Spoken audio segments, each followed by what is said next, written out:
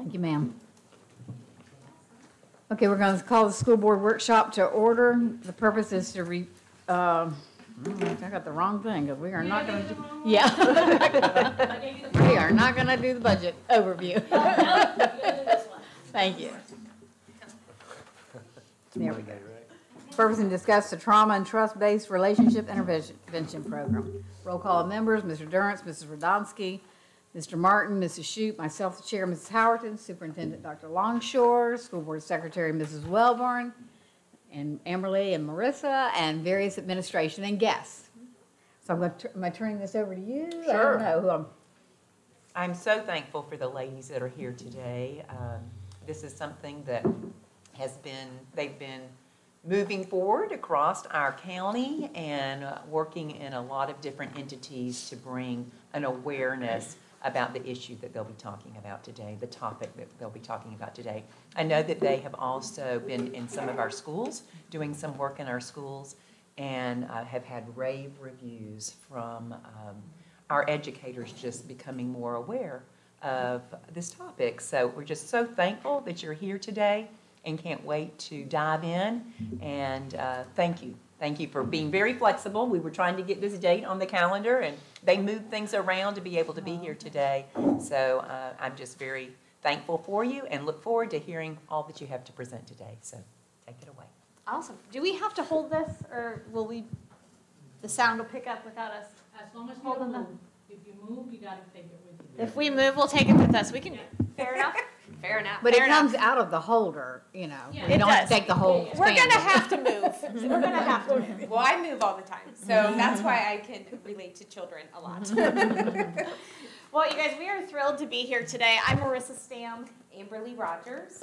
And um, we have just launched an initiative here in Highlands County, specific to Highlands County, called Worthy and Known Family Project. And so, what we have the privilege of sharing with you guys today is this three hour trauma and TBRI overview um, that we've been able to share across the county. We've, we've done this for over 500 people um, so far across our county. Um, we've been really excited and, and again honored to be able to have the opportunity to do it. And so today we're gonna we're gonna dive in. The way that our day is gonna look is we're gonna start this morning um, understanding first what trauma is, um, the effect that trauma has on the body, the brain, and our community, and then once we know about that, then we're gonna talk about what we can do about it. And trust-based relational intervention, or TBRI, is the now what. But we start with trauma so that everybody we're all using the same language and we're we're understanding things from the same lens. Does that sound good? Okay. Awesome.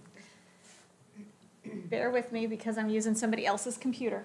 So, but I'm in good hands. Yeah. Right, tech team? Okay. Uh, So, anything you want to share before we Well? I just, just to give you a little background, because usually when we present, we do give a little background as to why we are in the space that we're in right now. Um, so I have three biological children that all came, um, that graduated from Sebring High School. And when my oldest started there, I volunteered, which led to a job. And I was uh, thankful to be there, and I worked under a fantastic administrator and just grew and grew. And then, but what it did for me is it really taught me and gave me an idea of what's going on with kids outside of my children and their friends, which wasn't, um, you know, I had not really gone too far out of my comfort zone, I guess. And so it really got me uncomfortable, which was really a good thing because it showed me, um, it, it gave me a lot of passion as to where I want to go next with once my kids were raised. And it led me to um, uh, be part of a child's life that's in foster care, um, which led me, my husband and I, to take Marissa's class, TBRI class, so we could get a little more informed and we could be better equipped to help kids. And um, I just, this was all the things that I did in my classroom without knowing um, that it was TBRI. And what it really taught me is um, how to have better relationships with my peers. And I know this is a, a class and a, a program uh, originally designed to help students and kids, but what it did for me, and I think what it has done for other people that have taken it with me, that um, it has really helped them with their peers. And so, because I think trauma, nobody escapes any, you know, trauma or bad things. We all have that. And I, and I think when we have a better understanding of the people that we're talking to and dealing with, and we can look at them with different lenses, um, you know, we're a kinder and more uh, giving society, uh, community. So that's why I'm here where I'm at. And I've been leading a ministry that operates in Ethiopia actually since 2014. And we work with children who have been orphaned or abandoned, as well as families that are at risk of breaking apart. And we brought TBRI and some of the other programs that we'll be using at um, Worthy and Known Family Project into Selamta Family Project over in Ethiopia several years ago. And the outcomes that we've seen um, in the work that we do over there are absolutely extraordinary. And so our family started walking through foster care when we, in 2019. And as we were walking through foster care, what we realized is that the way that we're wrapping around families through Selamta Family Project in Ethiopia was missing from our system of care here. And so it became abundantly clear that we had been moved here to Highlands County back in 2013 before I even stepped into leadership of Selamta, and that it was apparent that it was time to bring what we knew to be true about effectively wrapping around children and families in Ethiopia and bring it here to Highlands County. And then, as God does, He brought Amberly and I together, and here we are standing in front of you guys today. Um, so, just a little bit about us so that you understand that we're not just, you know, making it up, flying by the seat of our pants, but um, we are both TBRI practitioners and we are both facilitators of another program called Making Sense of Your Worth and Parenting for Positive Self Worth. Okay. Well, we're going to dive right in. Um, to you guys that just walked in, we want to make sure you have all the info. Feel free, there's a couple more chairs up here if you want to sit at a table, it'll be a little easier. Um, but wherever you want to be, it works too. Do we have a couple more? Um, awesome. So we want to frame today kind of talking about these three pillars of trauma-wise care. Um, I know trauma is a big word right now, right? It's kind of one of those hot button words that's being used, and I, I hate that it's that because it should not be a hot button word. It's a reality um, for almost all of us. Um, that all of us have gone through something that's very difficult, whether it's in our childhood or as we've grown, and and trauma can really change the trajectory of our development. It can change the trajectory of our belief systems. Um, it can really change the way that we operate. And so there are three pillars that we want to focus on that are really focused in on what it means to be trauma wise. And the first is felt safety, the second is connection, and the third is self regulation. Okay? Um, if we don't have felt safety in a situation, it will change the way that we think and the way that we believe. Um, if we don't have connection with others, okay, we will not feel seen, heard, and valued. That will also change the way we think and the way that we believe. Um, and if we don't have felt safety or connection, our ability to self regulate goes out the window. So, all of these three things combine together, and we're going to take a look at as we dive into TBRI after we go through some of our videos today, um, how this all comes together and plays out so that we can build a really strong foundation for families in Highlands County. Sound good? Okay, and so before we get started, um, we're, we're not gonna make you write, read it, you know, write a bunch of stuff, but if you'll write down two things for me and for Marissa before you start is, I want you guys to walk away with today with two things. And that are, this is what is so, so important to us, because this is gonna change. This is gonna, where the change starts. The first thing is, I want you to, to start looking at people with this question. What happened to you? Instead of saying, what's wrong with you? Because I can tell you, unfortunately, and I'm just gonna admit, when I worked at Sebring High School, I had kids in my office, they were sad, things were bad, they were upset, they had some stuff going on. And when the parent would come or the caregiver would come to pick them up, in my head, I didn't say it out loud, Brenda, but in my head, I would think, what is wrong with this parent? Why are they doing what they're supposed to do? And if, if I had known then what I know now, and this is where I really think it's so important for us to start looking at people with the question, what happened to you? Because it changes. See how much softer that is? What happened to you? Not excusing the behavior, but understanding it. And then the other thing, the other question is? The other question is what's the need behind the behavior? What's the need behind the behavior? We see the behaviors, they are apparent, they are frustrating, they are annoying, and we keep playing whack-a-mole with the behaviors, right? Because we want them to go away. And so we try to, to whack them down with compliance. We try to whack them down with structure. We try to whack them down with expectations, right? But if we haven't met the need that is driving that behavior, that behavior will not go away. It might take a different form, but it will not go away.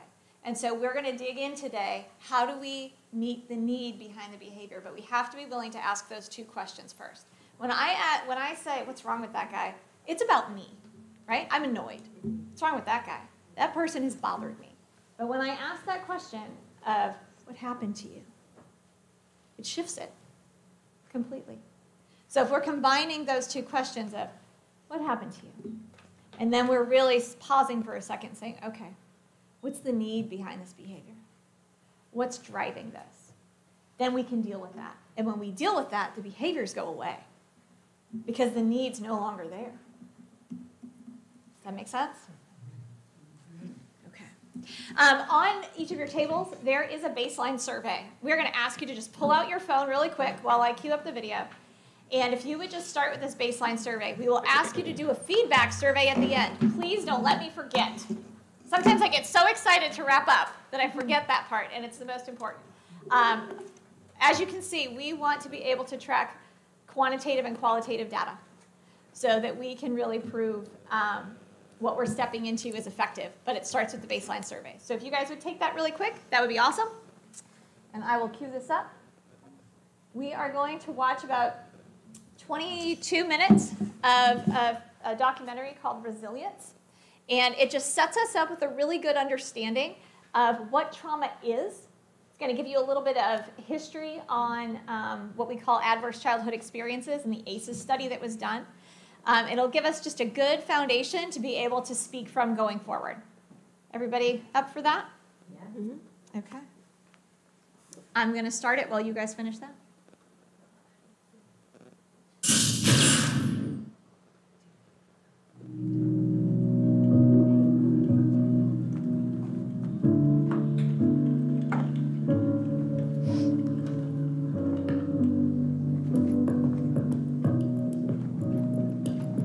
Like to think of childhood as this time of joy and innocence. But, I mean, for many of us, it's just not true. We just pretend all those things don't happen. Our investment in the denial is so high. ah, you know, kids are young, they're very resilient, they don't know what's going on, they won't remember anyway. Well, the child may not remember, but the body remembers. This is the biggest public health discovery we've ever seen. It blew my mind, just blew my mind. We didn't know that all of these kind of problems have a common cause. There was this incredible gee whiz effect. You, you mean adverse childhood experiences cause heart disease and lung disease and liver and cancer? The impact is on your behavior, it's on your learning, it's on your heart, it's on your DNA. Like how do you how do you deal with all that stuff? The biggest problem that we need to avoid is people not wanting to talk about it or people not wanting to address it. We have a whole new body of knowledge now that could open up new ways of thinking about what we have up till now been seen as intractable and solvable problems. And if you can weave the science through these different sectors and get it into the hands of the general population, they will invent very wise actions. It's there, it's there, it's possible. And a defeatist kind of attitude or a sense of futility is completely disconnected from what 21st century science is telling us. And we should be going after them like a bear.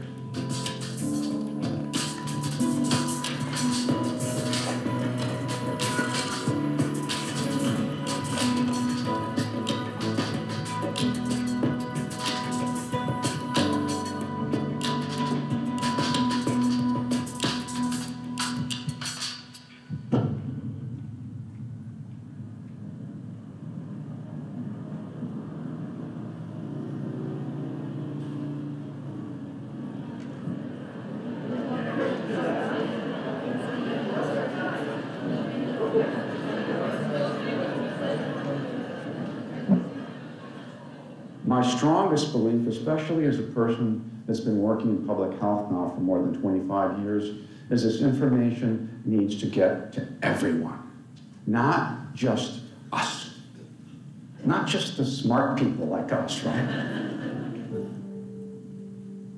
Back in the 1980s, I became interested in the emotional underpinnings of disease and behaviors. How things like depression might affect the incidence of cardiovascular disease. Back then, it was really controversial, and people actually laughed at us for, for getting into that kind of work and say, well, Rob, what, do you, what does this have to do with public health or medicine? And saying, well, you're nuts. The key message that we have learned is that a totally different kind of history taking needs to be done. My colleagues assured me that I was crazy to think about doing this.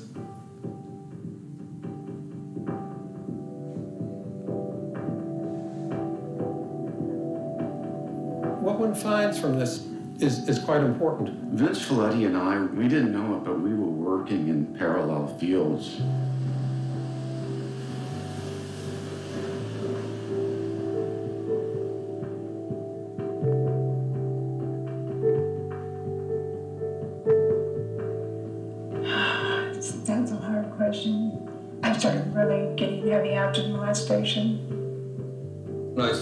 Routinely inquiring about childhood sexual activity and was, was really overwhelmed because it seemed that every other person I was asking was providing me a history of childhood sexual abuse. And I vividly remember thinking, I mean, you know, I mean, this can't be true.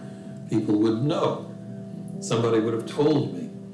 I mean, wasn't, wasn't that what medical school was for? I did blame myself for not saying anything. I should have said something.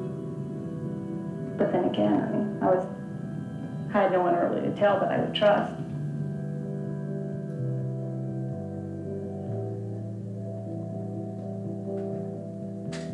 Weight gain, most commonly.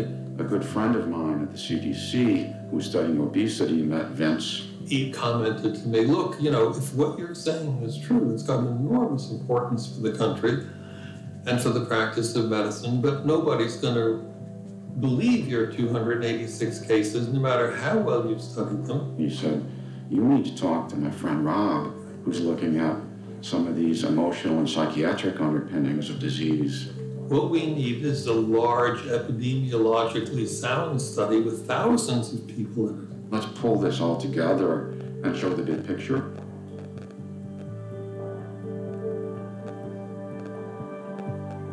A study of over 17,000 middle class adults here at Kaiser Permanente in San Diego was a well educated group of people. Most had been to college. In no way could you dismiss this as, well, you know, I don't see people like that in my practice, etc. You know, that's them across town.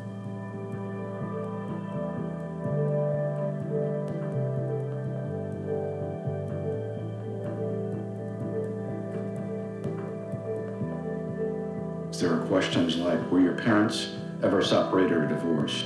Did your parents ever swear at you, insult, or put you down, or hit you so hard that you had marks or were injured? We ran into serious opposition. Touch or fondle your body in a sexual way. Was anyone in your household depressed or mentally ill, or your parents were too drunk or high to take care of your family? You can't ask patients questions like that. Did your father ever repeatedly hit your mother over at least a few minutes, or you didn't have enough to eat? You're going to cause people to decompensate. You may make occasional people suicidal. Did anyone in your household ever go to prison? As though it were generally agreed that repression is the best approach to life's traumas, certainly the most comfortable for other people.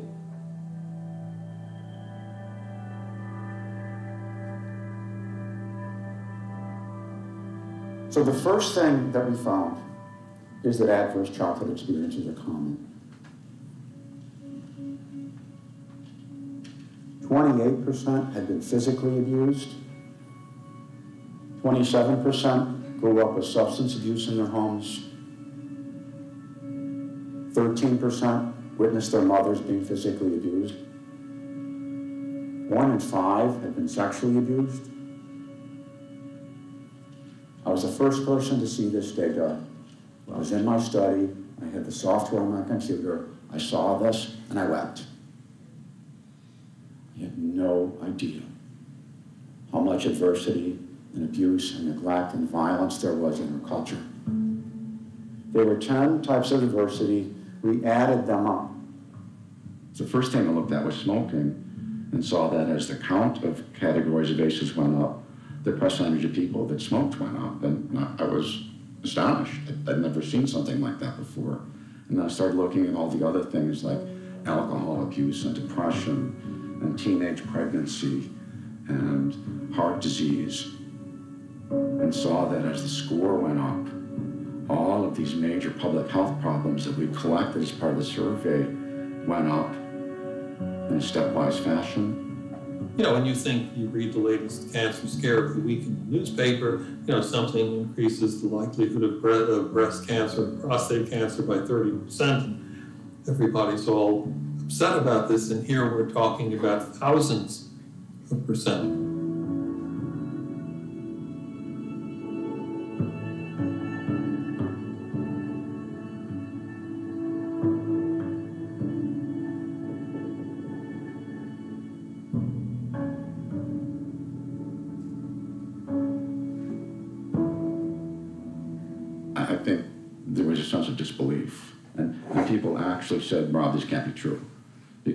If this were really true, somebody would have already known about it and would have been studied and published. So there must be something wrong with the way you did the study. So we had to go back and recheck everything we'd done, and of course it was all correct. And at that point, it was clear to me that this was real, um, but that nobody wanted to know about it.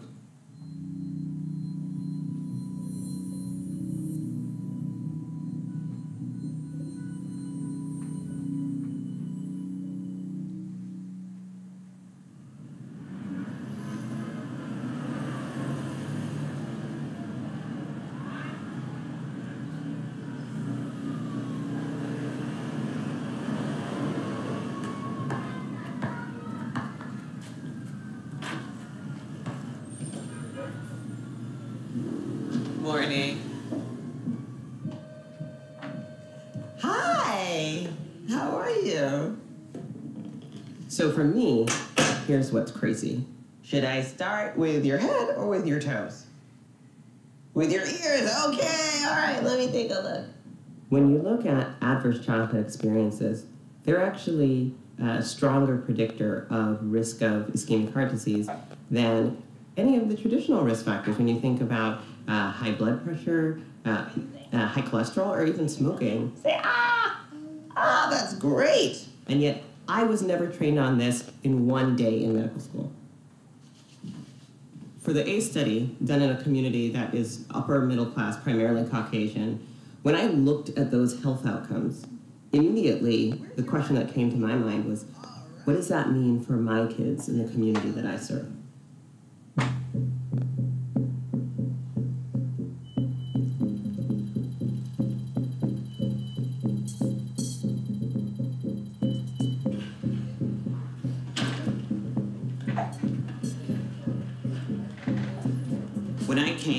To San Francisco, when I finished my residency in 2005, you looked at the Bayview Hunters Point neighborhood of San Francisco versus the Marina District or Pac Heights. If you're a child born in Bayview Hunters Point, your life expectancy is 11 years shorter if you're born in Bayview versus if you're born on the other side of town. I kept on asking the question, why is it that we're seeing this in these communities? Here in the Bayview, gun violence has killed four people just this month alone. It's the highest rate of uh, homicides in the city of San Francisco. And it also has the highest rate of ambulatory care hospitalizations at any neighborhood in the city. Heart disease, diabetes, you know, all of the above. Two deadly shootings in the Bayview district of San Francisco. They happened late this afternoon, just minutes apart. The first shooting, There were some things that you were struggling with. And I think one of the things was his asthma management, but the other, some of the things was was school. Like we, we were not in that place with school. he was having a difficult time, right along with a lot of other kids there having a difficult time switching over from a normal routine to being scared to going back to a normal routine. It was very difficult. A lot of families said violence is a really big issue in our community. We need mental health services to help to deal with that. And do you know people, do you know kids who have died? My friend over Sean just died a couple weeks, like last week. Somebody stabbed him. Part of the game up there. For a while, I got uh, They came in for a regular physical, but he's been acting out in school. Mm-hmm. Auntie feel seems overwhelmed and feels like she needs tools. We had hired a psychologist who was also on site seeing families with me at the clinic. One day he came into my office and he said, Have you seen this? And he handed me the ACEs study by Felitti and Anda. And honestly, I, it was like I was hit by a bolt of lightning. it was a total validation of what I was seeing in the kids that I was treating. Being in a community where you're hearing gunshots on the daily, where you are having friends who are being killed or being incarcerated, that really aff- affects your body, right? Like it, it gets under your skin. We got the immunization rate up. We had nutritional counseling. So we were getting great health outcomes. But one of the big challenges that we found was that families were saying, Dr. Burke, please, can you help Bobby? Come on, Bobby. You gotta see Bobby. Bobby's falling out in class. He's hitting the kid next to him. He can't pay attention. He's running out of class. Please, Dr. Burke, he's got ADHD. Can you please put him on some Ritalin? And when I did a thorough history and physical, which is my job, it turned out that I couldn't make a diagnosis of ADHD, which is attention deficit hyperactivity disorder, because a lot of the kids I was seeing were dealing had so many traumatic experiences in their life. Okay. Now, if you take a kid who's been exposed to trauma, they also will have difficulty with impulse control, difficulty with regulating their behavior. The big difference is if you give a child with an overactive stress response a stimulant, what do you think is going to happen? It's not going to help. And so I think people were seeing the behavior, but we're not getting to the root of what is causing the behavior. But there's actually something functionally changing in their brain. And it's interesting how much activity overall they have when processing all types of emotions happy, sad, fearful, angry. We tend to divide uh, the world of mental health separate from the world of physical health, but the body doesn't do that. the body's only one. stressful or traumatic things can affect the health of kids. And so, one of the things that we do here is that we screen all of our patients for uh, what we call adverse childhood experiences, or these kind of stressful experiences in childhood. We don't need to know which ones, we only need to know how many. It's intense, and getting folks to open up and all that stuff is very difficult. But here's the thing about it that may have occurred in your family. We found that for kids at the Bayview Child Health Center, if they had an ACE score four or more, they were 32 times as likely to have learning and behavior problems in school. 32 times as likely, right? Than if you had an ACE score of zero. The reality is that we all need a certain amount of stress, a certain amount of anxiety to perform well. If we don't care about that exam that we're gonna have tomorrow, we'll probably fail. If we're gonna cross the street and a truck is coming at us, we have release of adrenaline. We have release of a hormone that we call cortisol. We want to jump out of there, and adrenaline and cortisol are going to help us do that. So there's that good amount of stress. But if all day long you're feeling like a truck is coming at you, day after day after day, that's going to take a toll on the body. And the amygdala, obviously, here is has greater activation Yes. in the PT. We were able to image children that had experienced trauma and compare those brain images with children that didn't have an experience of trauma, didn't have symptoms. Right, an exaggerated fear response. Unexaggerated fear response with decreased activation in areas that we need to control that emotion in the frontal areas. Exposure to early adversity and trauma literally affects the structure and function of children's developing brains. So the kid next to them hits them, or the teacher reprimands them in a way that uh, they're uncomfortable with, right? Literally, what they're feeling, that activation is like there was a truck coming at them. You can give something that will mask symptoms, right? For example, if someone has a cough, right? You can give them a really strong cough serum that will suppress their cough. But if it's because they have tuberculosis or lung cancer, then what you're doing is merely masking the symptoms while the disease process continues to fester. We know what's happening in children's brains and bodies with the experience of toxic stress. So the question now is what do we do about it?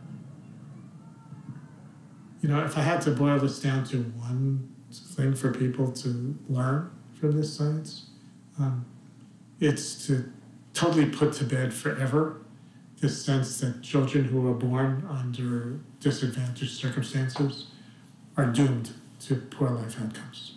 The science is saying um, that's just not true. You know, Mr. Fred, that's Dr. Oliver, I really love to, to highlight that.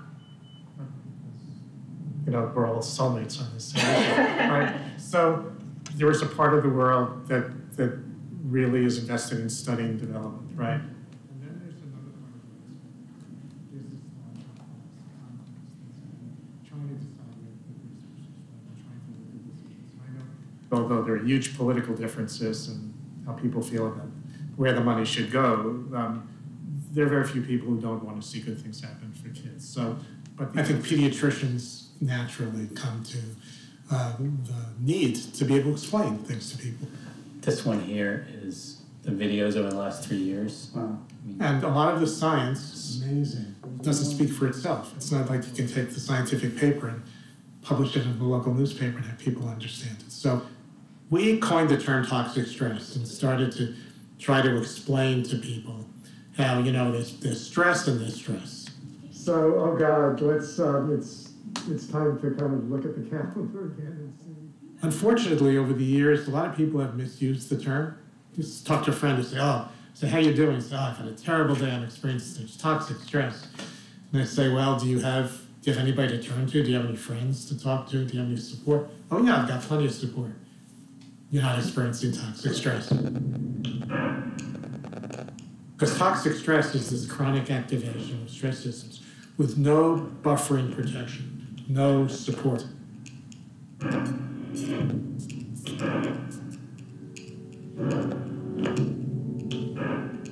We don't say to the people who got cancer, why don't you suck it up and be like the person who didn't get cancer? Right? But when we see this as a result, when we see it in, in problems in school or problems in behavior, we say to people, why don't you suck it up and you know be like that other guy who's doing well in school and who's not doing drugs. This is a real problem in terms of public understanding because we are so captivated by the self made person. We are so captivated by the rugged individual. We are so caught up in this sense of pull yourself up by your bootstraps and get over it. But the problem is when you're very young, when you're a baby, when you're a toddler, you can't pull yourself up by your booty straps. Everybody likes to talk about resilience. It's like, uh, what's resilience? And the one thing we know about it from a science point of view is it's not something, something you're born with. It's something that gets built over time. Can you learn how to deal with conflict constructively when you grow up hearing your parents screaming at each other every other night? Can you learn how to focus your attention when you live in a neighborhood where you hear gunshots and sirens? Can you control your impulses? You never know whether your father with a drinking problem is going to strike out in a rage. Can you delay gratification when all your friends around you are doing drugs? Can you plan for the future when it's hard to get through even a single day?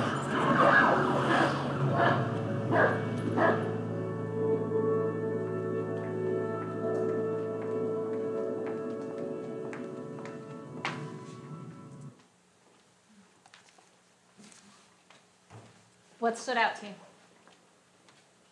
I know it's a lot. It can be a little heavy. So we definitely want to say something really quick. Where there's breath, there's hope. And we say that throughout the whole training. And we know this is heavy, and when we do it with teachers especially, we want to say constantly, where there's breath, there's hope. So just know that, and we've got a lot of hope. We've got a lot of people loving on kids. And we don't want you to just think about kids. Right. Okay? We want you to also think about our administrators, our school staff. Because if they don't, if they aren't able to stand on those three pillars of felt safety, connection, and self-regulation, it certainly can't cascade down from them to the kids. What stood out to you? A couple of things. Go ahead. um, living in the classroom for so long, we have a ton of kids that this, that is, you know, their life. And if they have a trusting adult, they will talk to, you know, teachers. So then our teachers are hearing those things. And I like that you guys said, you know, it's not just our kids, it's our teachers too, because then our teachers, they, they take on that, you know, that weight of, of the kids. Um, so that's big. But I also, you know, since it's been building for a while, but I think COVID kind of, you know, it- it blew Exacerbated everything up. everything. Yeah. Right. Um, and so I think we've been expecting our teachers to just go on and pull yourselves back together and, you know, put on, Yeah. put on your, y- you know, pull up those bootstraps and just get going and act like nothing's wrong and let's just go to it.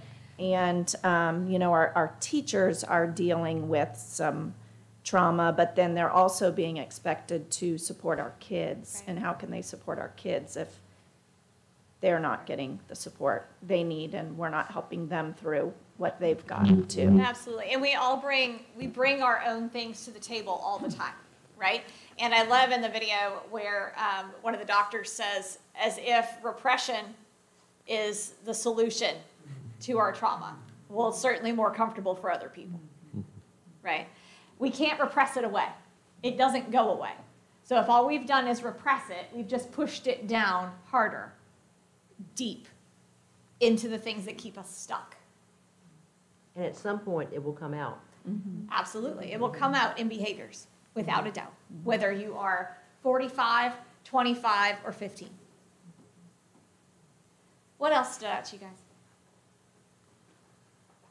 like when COVID and the COVID shutdown, um, we went from schools being a safe place for students to immersing them into a lot of the environments that cause all these issues. So they were just almost locked into that environment. So they stayed there 24 7. And then when they came back in the schools, it's hard to undo some of the things that were done because the house is the place where the issues are, are occurring.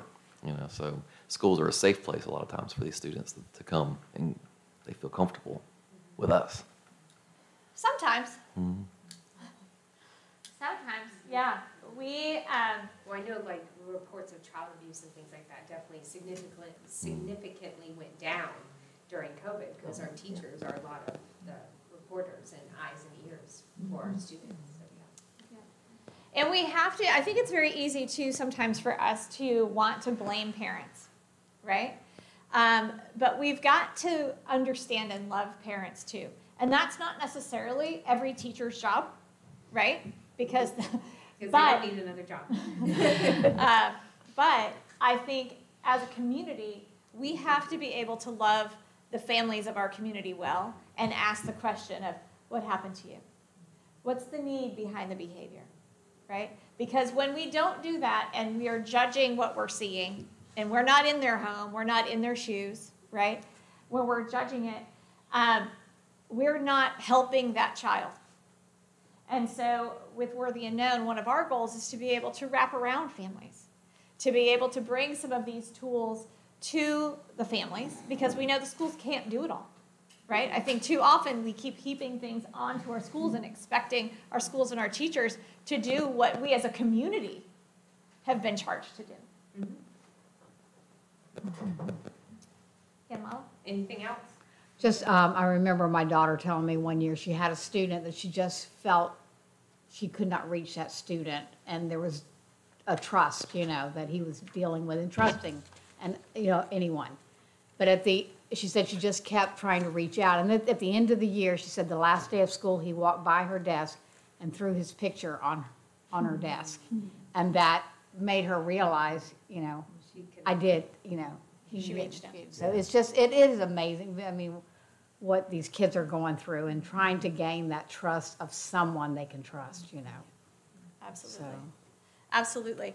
And in your book, in your packet, if you guys would look in the front pocket really quick, there are two things that we want to share with you. Amberly's going to share um, the So hand model is- of the brain. If you guys want to pull this out, we'll, we'll do this together. It's kind of, it can, it's kind of fun. So if you'll, you can pick a hand, either your right or left, whatever you feel comfortable with. But this is, this is your brain. Um, but in utero, the first thing that develops, your wrist is gonna be your stem, right, where your spinal cord develops, okay? And then your thumb, if you'll do this, is your amygdala.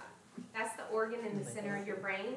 If you're familiar with like brain work, that's what they would call downstairs brain. But this is your amygdala.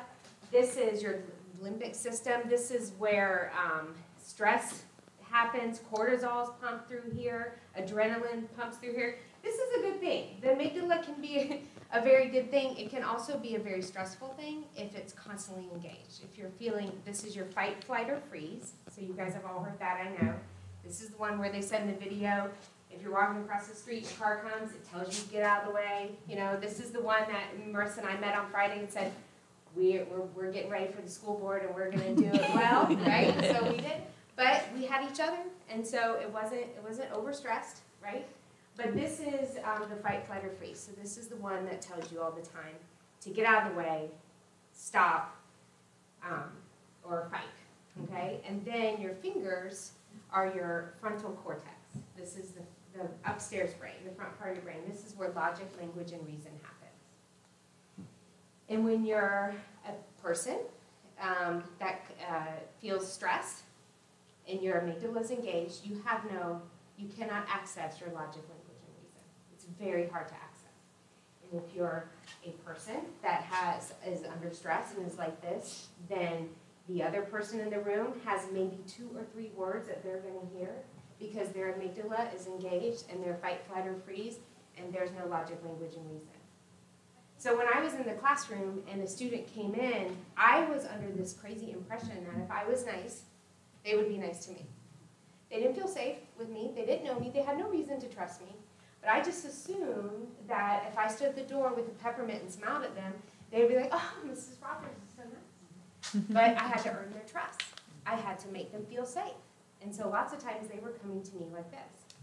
So when they came to me and I said something and it triggered them and they got into the fight, flight, or freeze mode and they said something super nasty back, how helpful do you think it would have been? Because that triggers me, right? You don't want to be told, you don't want to be talked to in an ugly way. How helpful do you think it would have been if both I was triggered and this child was? Or when I called a parent and I said, hey, I just want to let you know that, yeah, well, tell me something I don't know. Or when a teacher came in my office and gave me a referral and said, this student is, you know, a lot of trouble, there's a lot of things, da, da, da, and the teacher was aggravated, aggravated, aggravated. I wish so bad I had known some of this stuff because that triggered me. I just wanted the teacher to do what they were supposed to do and be nice and stop doing referrals. But they wanted that child to cooperate, and their job was to teach that child. And why didn't I, why couldn't I have went to that teacher and said, wait, I'll be the regulator in the room, because this is where we all want to be, under regulation, where we have logic, language, and reason. our amygdala is not pumping strong, it's not super lit up. We want to be regulated. So why couldn't I have been the regulator and look at that teacher and say, wait, how can I help you? Instead of being mad at you. Because it's frustrating when you're trying to deal with people and you're like this. So this whole brain model thing, we do this at like at my house, kind of a joking thing. I know a lot of you know my husband Jason, but he'll I'll be saying something, he'll be like, "Ah," you know.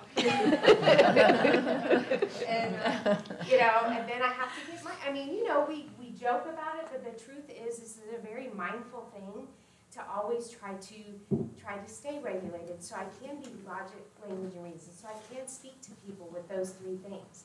So I'm not mean. So I can give kindness. So I can give care. And when I do get like this, I have lots of co-regulators. And I, I needed them when I was five, and I need them when I'm 50. Marissa, help me out. Jason, help me out. Carolyn, help me out. Like, you know, we all, I have a big community of people that will help me get to a place of regulation. So our job, either fortunately or unfortunately, I like to say fortunately, is to be that person of regulation, but had such, such hard work and such mindfulness for the people that we come in contact with. Yeah, yeah, and as, you know, as the adult in the room, um, as, especially like when we're thinking about our schools, someone who's dysregulated can't bring another person who's dysregulated to a place of regulation. So as the adult in the room, as the leader, as I have to be regulated first, and I have to know how to get there. I have to have the tools to know how to get there, and then I have to know how to co-regulate this other person to help them get back to a place of regulation so we can keep moving the train forward.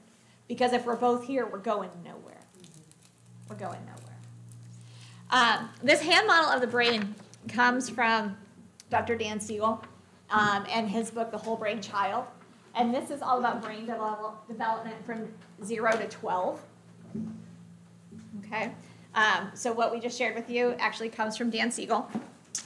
And also in your packet is just a quick handout of adverse childhood experiences. We totally lifted this off the internet. We didn't make it. um, it's not specific to the film Resilience, but we just wanted it to be a reminder of the impact of ACEs. Um, one that isn't on here that I want you guys to please write down is that a child who has had four or more adverse childhood experiences is 32 times more likely to have learning and behavior problems in a classroom. 32 times more likely. So I want to challenge, I want us to begin to be challenged by this notion of is it willful disobedience or is this survival behavior? So a child who has four or more ACEs is 32 times more likely to have learning and behavior challenges in a classroom. We have to start thinking about behavior differently. Behavior is telling us something, but we have to be willing to ask those two questions that Amberly posed in the beginning. What happened to you, and what's the need behind the behavior? We want you guys to be able to actually see the ACEs quiz. And so in the back pocket of your book, you have one. So this is the ACEs quiz. And there's a yellow sticky on it. And every time we do this training, we ask everybody in the room to read through this and find your number. What's your ACEs score? And if you're willing, we just ask you to write it on this yellow sticky, fold it in half, and really come by and pick them up. Okay? We have surveyed so far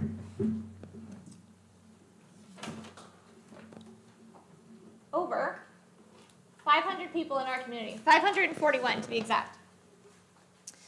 In the original ACEs study, 33% of the people surveyed did not have an adverse childhood experience.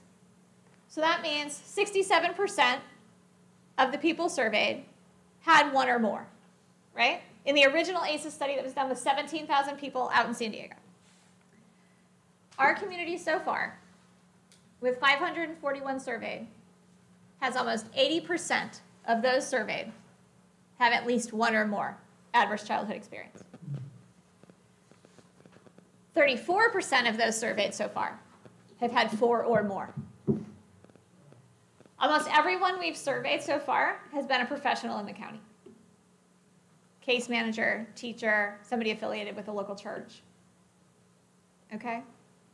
So just to kind of get an understanding of, of where we're coming from and the data that we're collecting.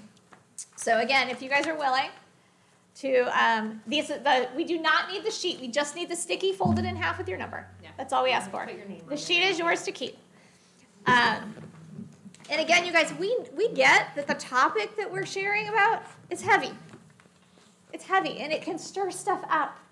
It can stir stuff up in each of us as we're going through it. It can stir stuff up in the way that we think about the people that we serve.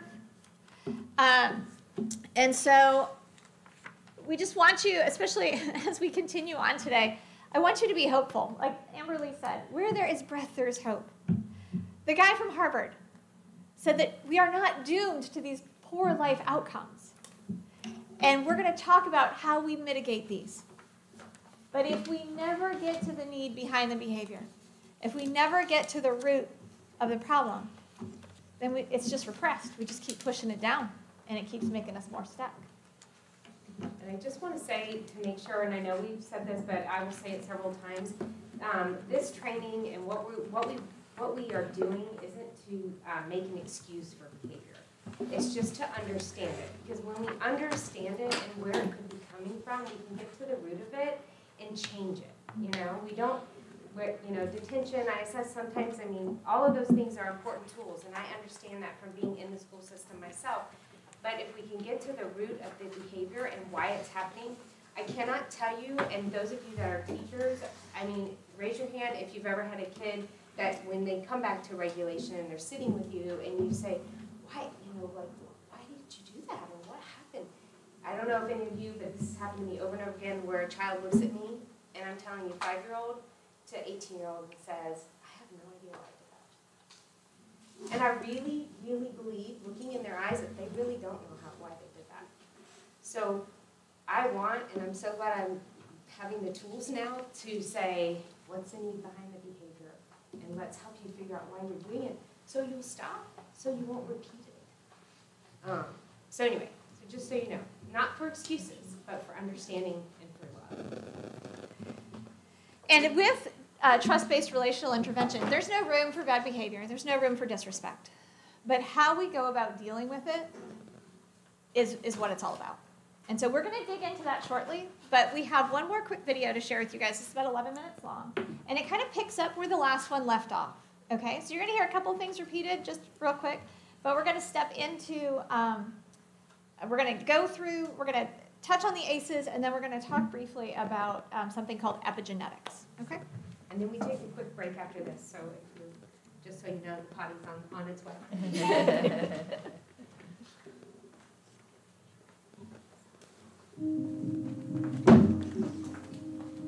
We have all been very effectively taught as children that there are certain things that nice people don't talk about and surely don't ask. What happens at home stays at home. Well, guess what? That is impossible to do because you carry it with you no matter what. Children who had adverse childhood experiences, it could be abuse, it could be neglect, it could be anything with regard to that was detrimental to the child without a buffer. What we see now is there's a whole uh, body of research now that's starting to come out, and it's one of the first times that adverse childhood experiences was connected to dying earlier. The ACE study itself, we had roughly 17,500 people in the study, and we have thus far been following them forward 19 years in time. A very clearly middle class group.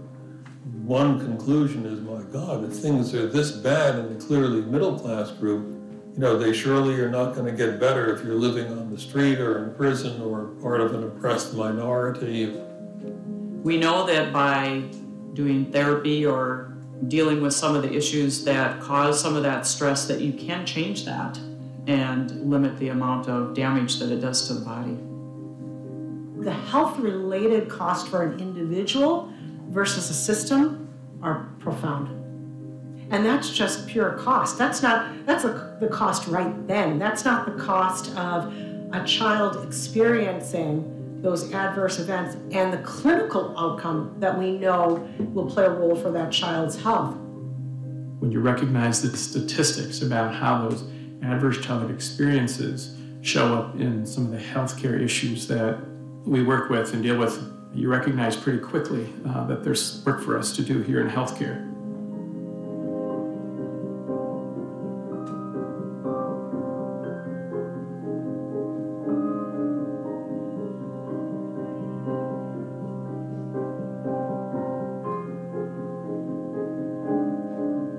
People Childhood Trauma is a TPT Partnerships co production with CentraCare Health.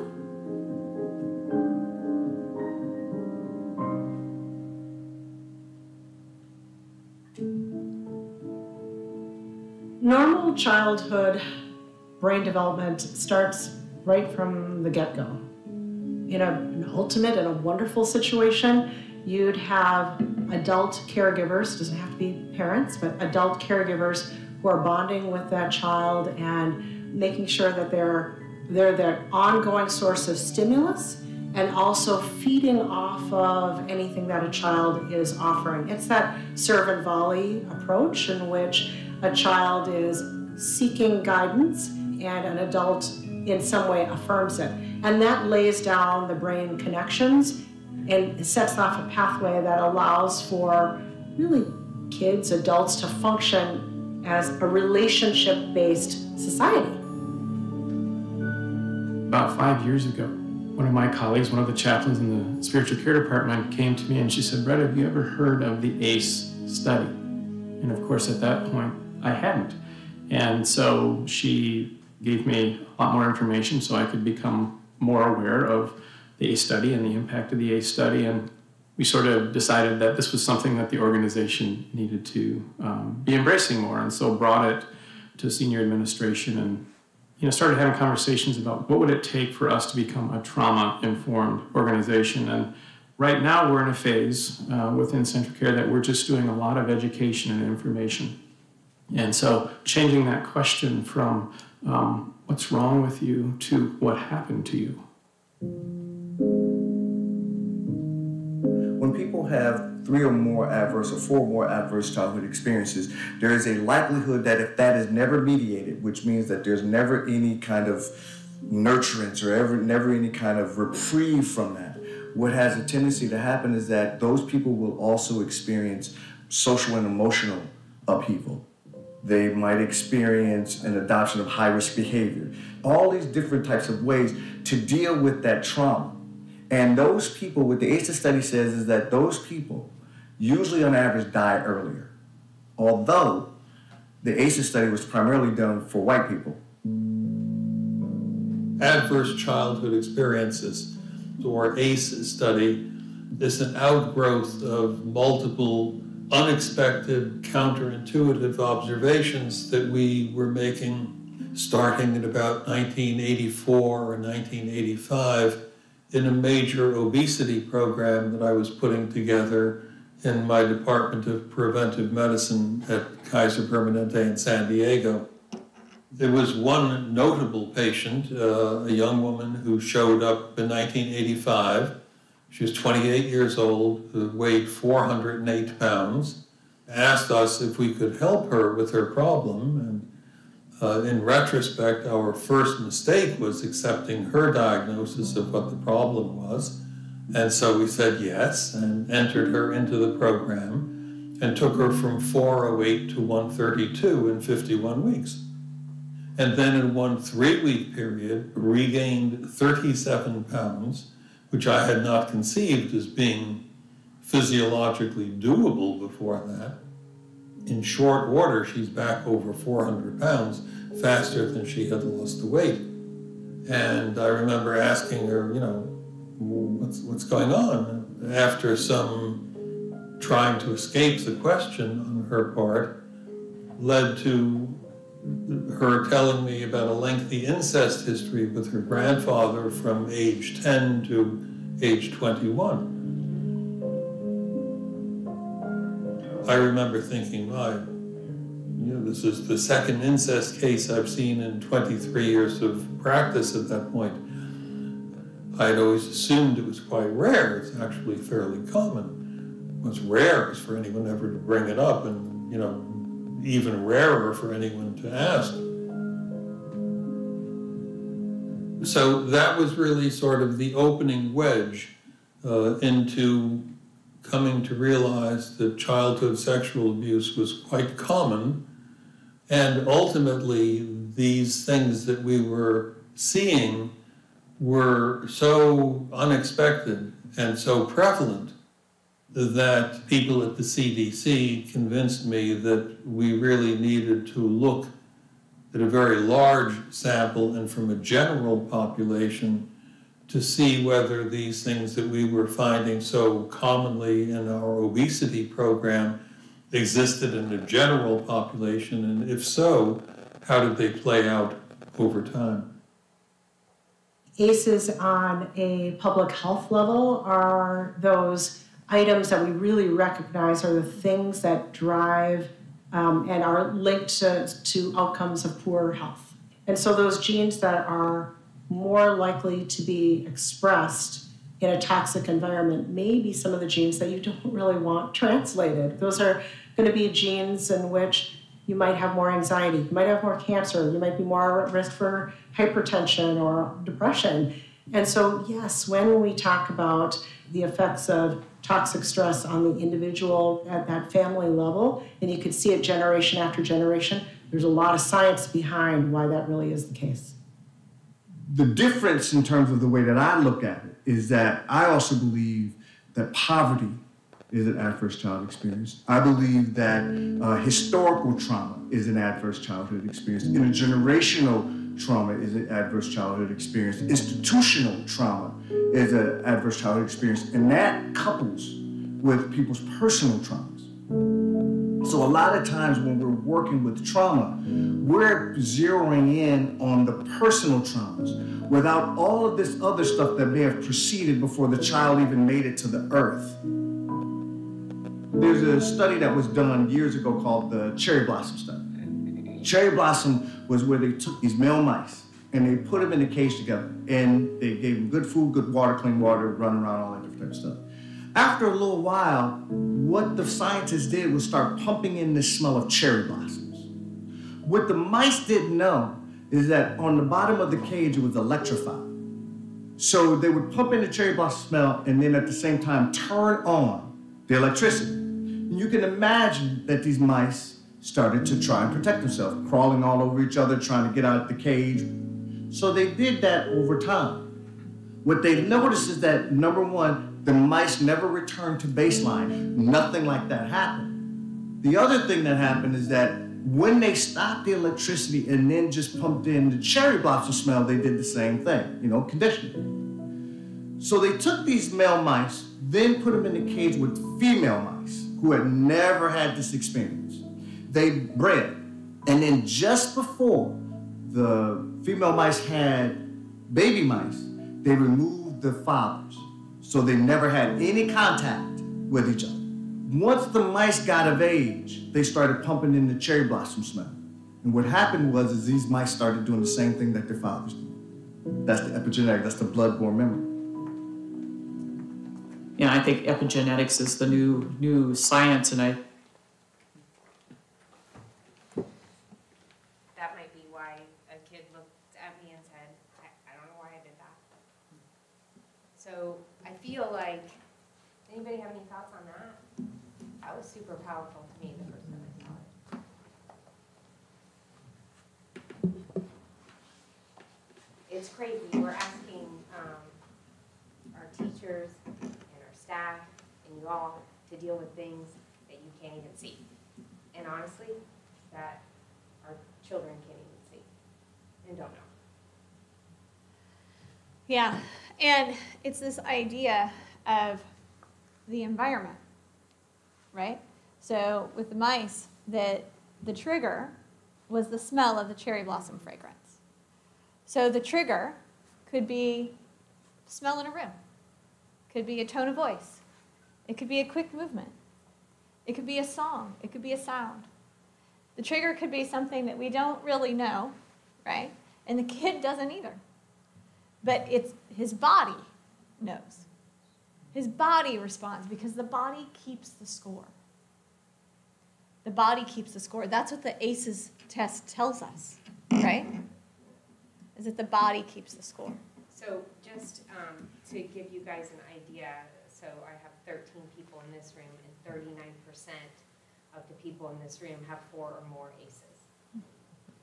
Which is pretty honestly typical when you're working with, when you're in front of people who are working with kids and working with families, because our desire to do it is because we want improvement in their lives, possibly from things that happen in ours. So it's really typical when you're in the room with mental health counselors and things like that, for those scores to be high. Our desire is to, to make it better for the next generation. Yeah. Yeah. Anything else? I that's a lot to take in. Where there's breath, there's hope. We want to give And you guys, some peppermints around, so go ahead and do that, but you all take a quick five-minute break. We'll get some hydration, nutrition, and bathroom, and then we'll start back up.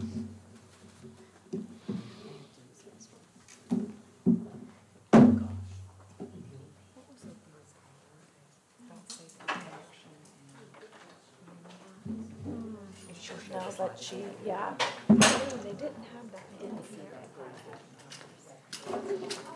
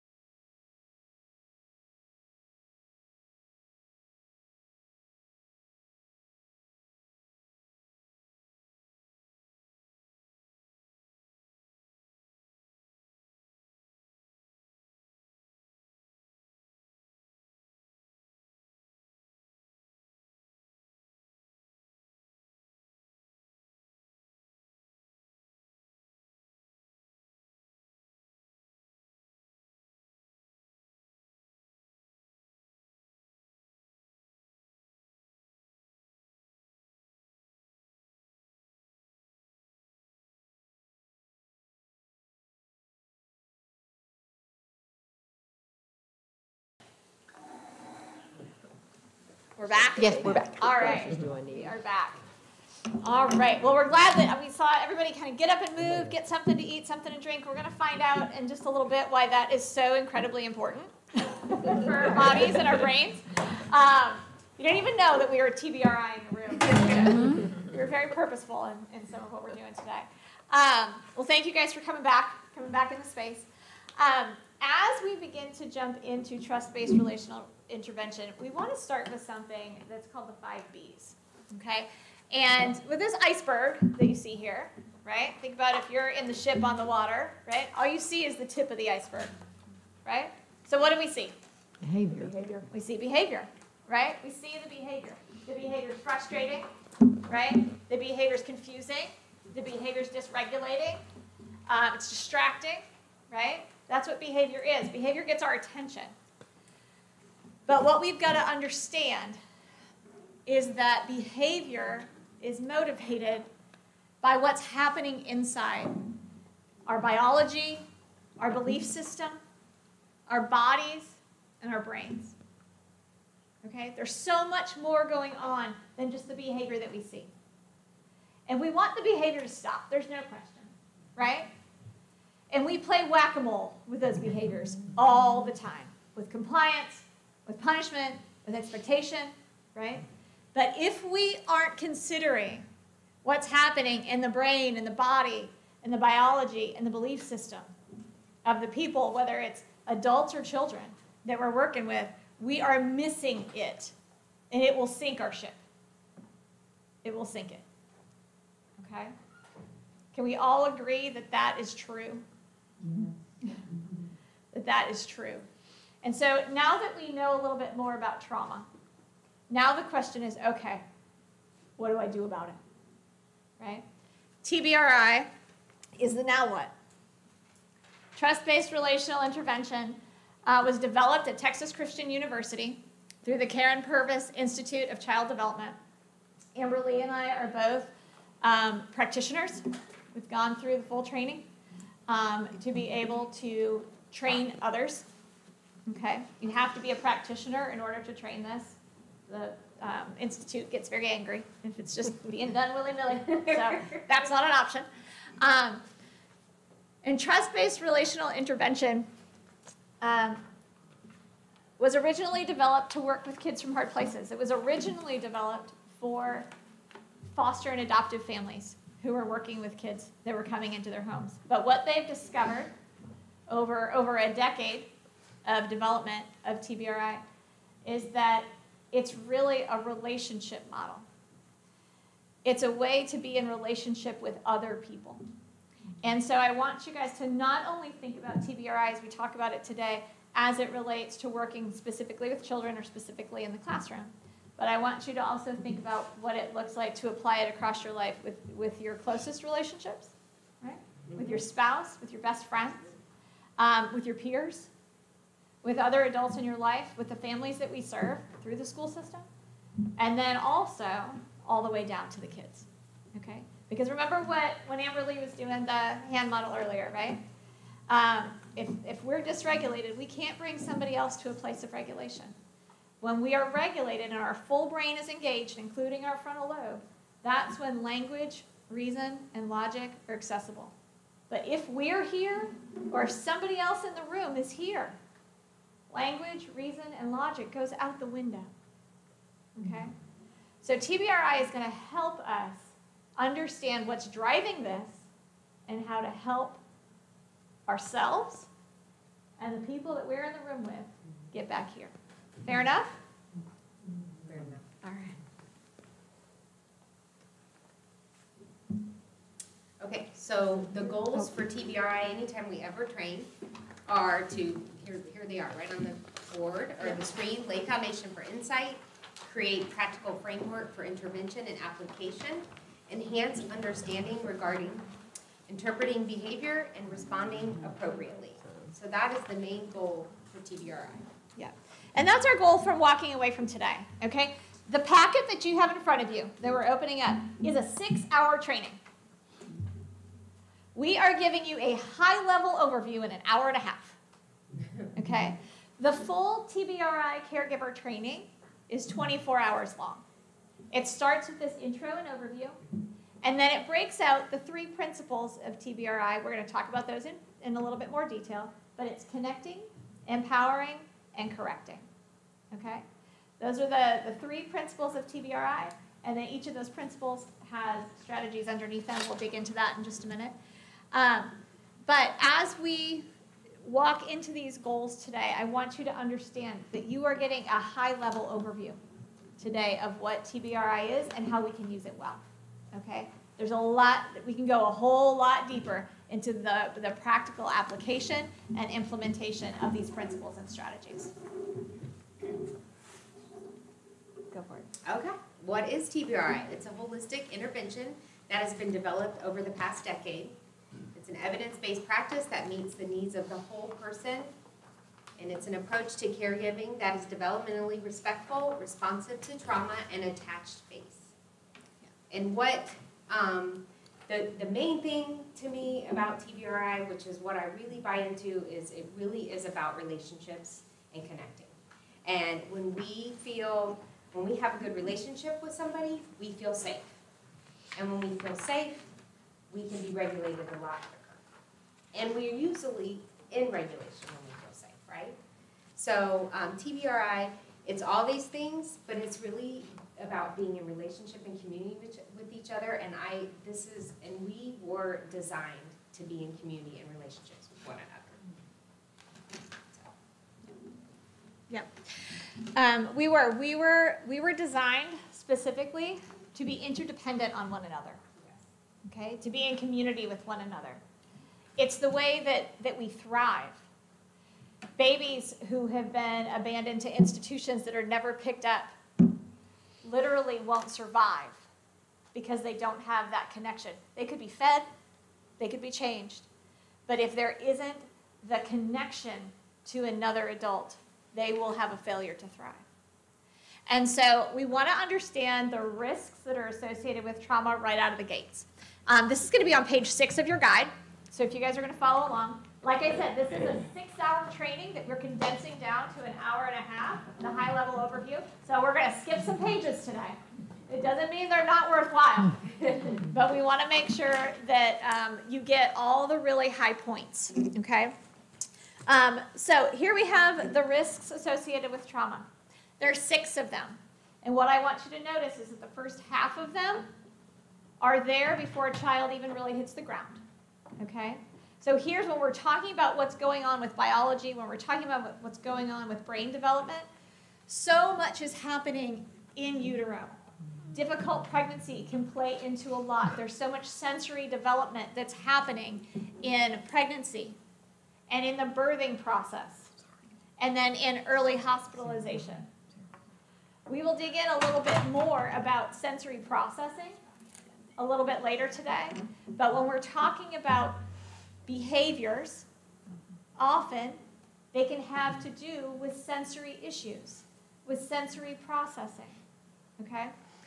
A lot of these things are in development in utero during pregnancy.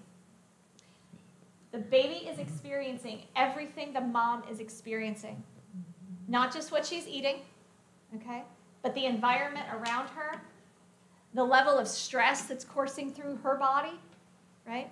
All of that is happening in utero to that unborn child. All right, so we have to understand um, during pregnancy is when the most rapid brain development is happening. So as Amberly was talking about the hand model, right? It starts with our brainstem, and then our limbic system forms, and then finally our cortex. Okay. So if you think about all the structure and all the intricacy that's necessary during pregnancy for that little tiny person to come out into the world. And then during birth, the birthing process is when so many of our senses and our reflexes start to connect or don't. Okay? Um, we, are, we are designed intelligently on purpose for the things to work together perfectly. Now, sometimes medical intervention is necessary. Okay? We want that baby to be born, and if there's a problem, a C section becomes necessary. But what can happen is that there becomes some sensory interruption in the process. Okay? Doesn't mean it can't be mitigated, but if we don't know about it, it can go on unidentified for a long time until issues start to present themselves behaviorally or educationally, and then intervention that we could have done at a very young age, we miss out on. Okay? Um, early hospitalization. When a baby is born, that baby is supposed to come right out of mama and then skin to skin, right?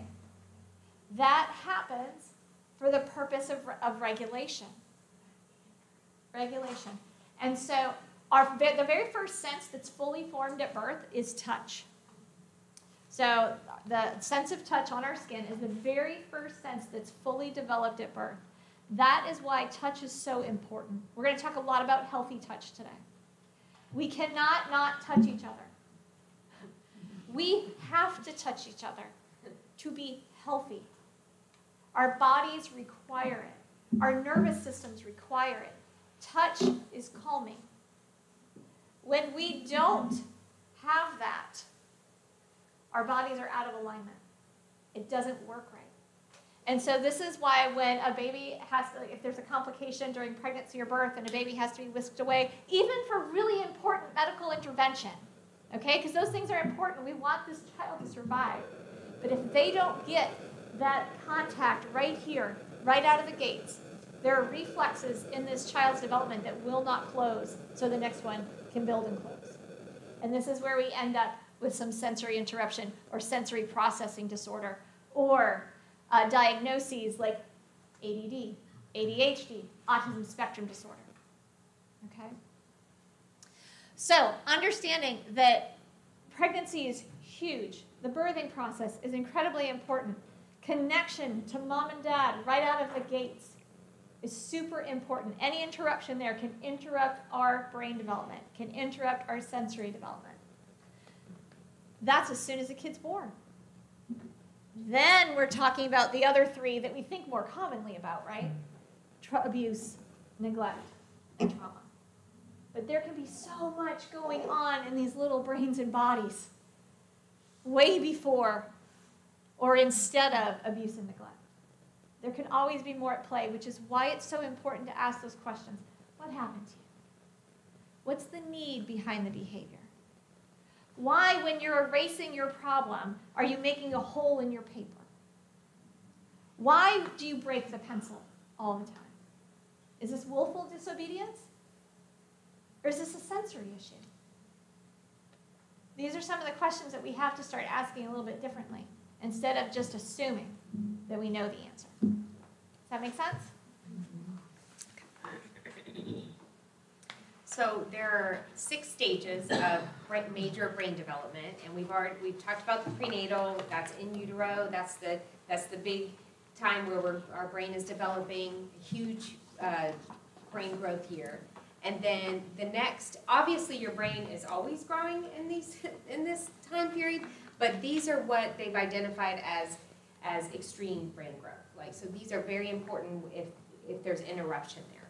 And so the first year um, so we are born with the ability to attach, but we learn attachment that first year. So that's a really important um, develop brain growth year, and it's really important to have that attachment. And by by saying that, um, whoever is the caregiver, they're the regulator. So they're regulating the baby. So that first year of life, they they depend completely 100% on somebody to regulate them and meet their needs. Then um, the next time that they've identified in your life that is a big brain development year is age five. So what do we do at age five? We go to kindergarten. And so not only are we changing and going to a new place and learning a new thing, but our brain is growing and developing in a huge way. And when we're five, we, we um, look for commonalities. You know, we want to go to whoever looks like us, acts like us, we play with everybody, we love you on the playground, we don't like you right now, we love you again. You know, um, kindergarten can be, it's a very big learning year, learning how to deal with each other and, um, and just, you know, there's just a lot going on. And then age eight is the next year that they've identified as a big brain growth year, so that is. What grade? Third grade. Third grade, typically third grade, right? So that's a that's a huge, um, develop, that year, during that brain development, it's very, modeling is very important. They're really paying attention to, um, the adults and the regulators in the room. They, um, that's when they start noticing, um, differences. And if you've ever worked with, uh, elementary school kids, there is a difference, at least in my experience, between second grade and third grade. They start noticing what's different. And they also start noticing what's in this person's lunchbox versus what's in this person's lunchbox, or what's on their plate, or who's picking them up sometimes, or who's at the bus stop. I mean, kids are really starting to learn, and this is when modeling behavior is very important. It's always important, but this is this is a huge development year. And this kids kids all this time in, in um, during elementary school, they really need a co-regulator, right? It's not it's not that they're um, in third grade and they can take tests now and they can you know do go to the bathroom by themselves or whatever. It's not. They still need a co-regulator. They still need somebody to walk alongside them and and help them stay regulated and teach them what is appropriate and what isn't. Okay, so it's a big development year. The next um, age that everybody's identified is 12. So what happens typically at 12? Which grade? Middle Sixth school, grade. Middle school, We right? start So we, so we typically blame everything, and this is, this was at one of my trainings, the uh, professor said, you know, we blame everything in middle school on hormones, but it's a huge brain development year, right? Literally, the 12-year-old brain is undergoing reconstruction. Yeah. So what fires together wires together, right? The brain is plastic. You're learning constantly. Um, at our last training, they said, which is, I'm gonna go off topic for a second, but they said your brain is rewiring constantly until you're 50 and even after 50 it's rewiring. But you have the ability to rewire things easily till around the age of 50, and then even after the age of 50, you're still, you still can be rewired. But around age 12, there's a literal reconstruction that's Yeah. happening. And so during those first 12 years, the brain is just taking in all this information. Like, think about how much an elementary student consumes in education, right? It's all this foundational stuff. At around age 12, when adolescence begins, do not confuse adolescence with puberty. They are not the same thing, okay? Puberty is happening, and sometimes puberty is happening even earlier in many of our kids now, as early as third grade. Puberty will start, which is obviously the release of hormones and bodies changing and all of that. In addition to that is this period of adolescence. This period of adolescence is when the brain is being reconfigured. And what's happening is that the brain is, like Amberly said, what fires together wires together. And so it is being pruned away what isn't being utilized on a regular basis. And it's like this, it's, it's called the myelination of the brain. It's like creating a superhighway for neuroconnections in the brain is what's happening from 12 to into your 20s. And so your brain is completely rewiring, and you've got hormones going going on, and you've got um, this right at your fingertips, right? And things are coming at our kids and our and our students and our family members so quickly. They it's just so hard to process. And this is also such a questioning time because when your brain is rewiring, you naturally are questioning, right? Because you're you're getting all this new information and things are firing up. And so if you've ever noticed a kid that might feel safe in a classroom when they're around age in sixth grade, they ask a lot of questions, right? And maybe if they don't feel safe, they ask a lot of questions to I mean, who knows? But kids are asking a lot of questions, and so this again is a very important modeling year. It's also a really important time for the uh, adult in the room the, to be regulated and mindful. Because at any given moment, even, even the most typical kid is gonna go like this because they're rewiring. So, so big, big time. Um, then the next one is age 16. And so what do we do at 16? Say, go drive, go get on the highway. and you can see the dysregulation, right? Like on Highway 27. I know sometimes I'm on Highway 27. So, um, but that's another huge um, brain development year, and we've got a lot going on at high school there, right? We've got a lot we're dealing with. Friends coming, friends going, Um, some serious things happen, especially here in Highlands County. We've had some serious community tragedy. Um, so there's a lot, there's a lot of disruption and um, around that age, there can be a lot of disruption around that age. So that's why it's so important to, to be mindful that there's so much more going on with that 16 year old in front of you than just being defiant. They're, they're rewiring. Yeah, and additionally, one of the things that we need to understand too, when, when our kids are hitting this period of adolescence, and I really wish I knew this 19 years ago. Okay, I have an 18 year old right now who's a senior, um, and a 17 year old who's a junior, and a nine year old who's in fourth grade. I wish I had known any of this 19 years ago, but I really wish I had known any of this when my son was starting middle school. Because what I didn't understand, and what I know to be true now, is that when our kids are young and they're in elementary, we're very instructional, right? How many of you guys are very instructional with young kids, right? We're teaching them constantly uh, what to know, what to expect, how to be, right? Our, our style with them can be very instructional. Well, when they hit that adolescent period, when they hit 12, 13, 14, and so on, we've laid that instructional foundation. They know us. They know our morals. They know what we expect. They know the information. Now they're trying to understand it and digest it for themselves. They're saying, Who am I and what's my place in this world? They still need us to be even more present, but in a very different way. They need us to be their coach. They need us to come alongside them. They don't need us to be their friend as a parent.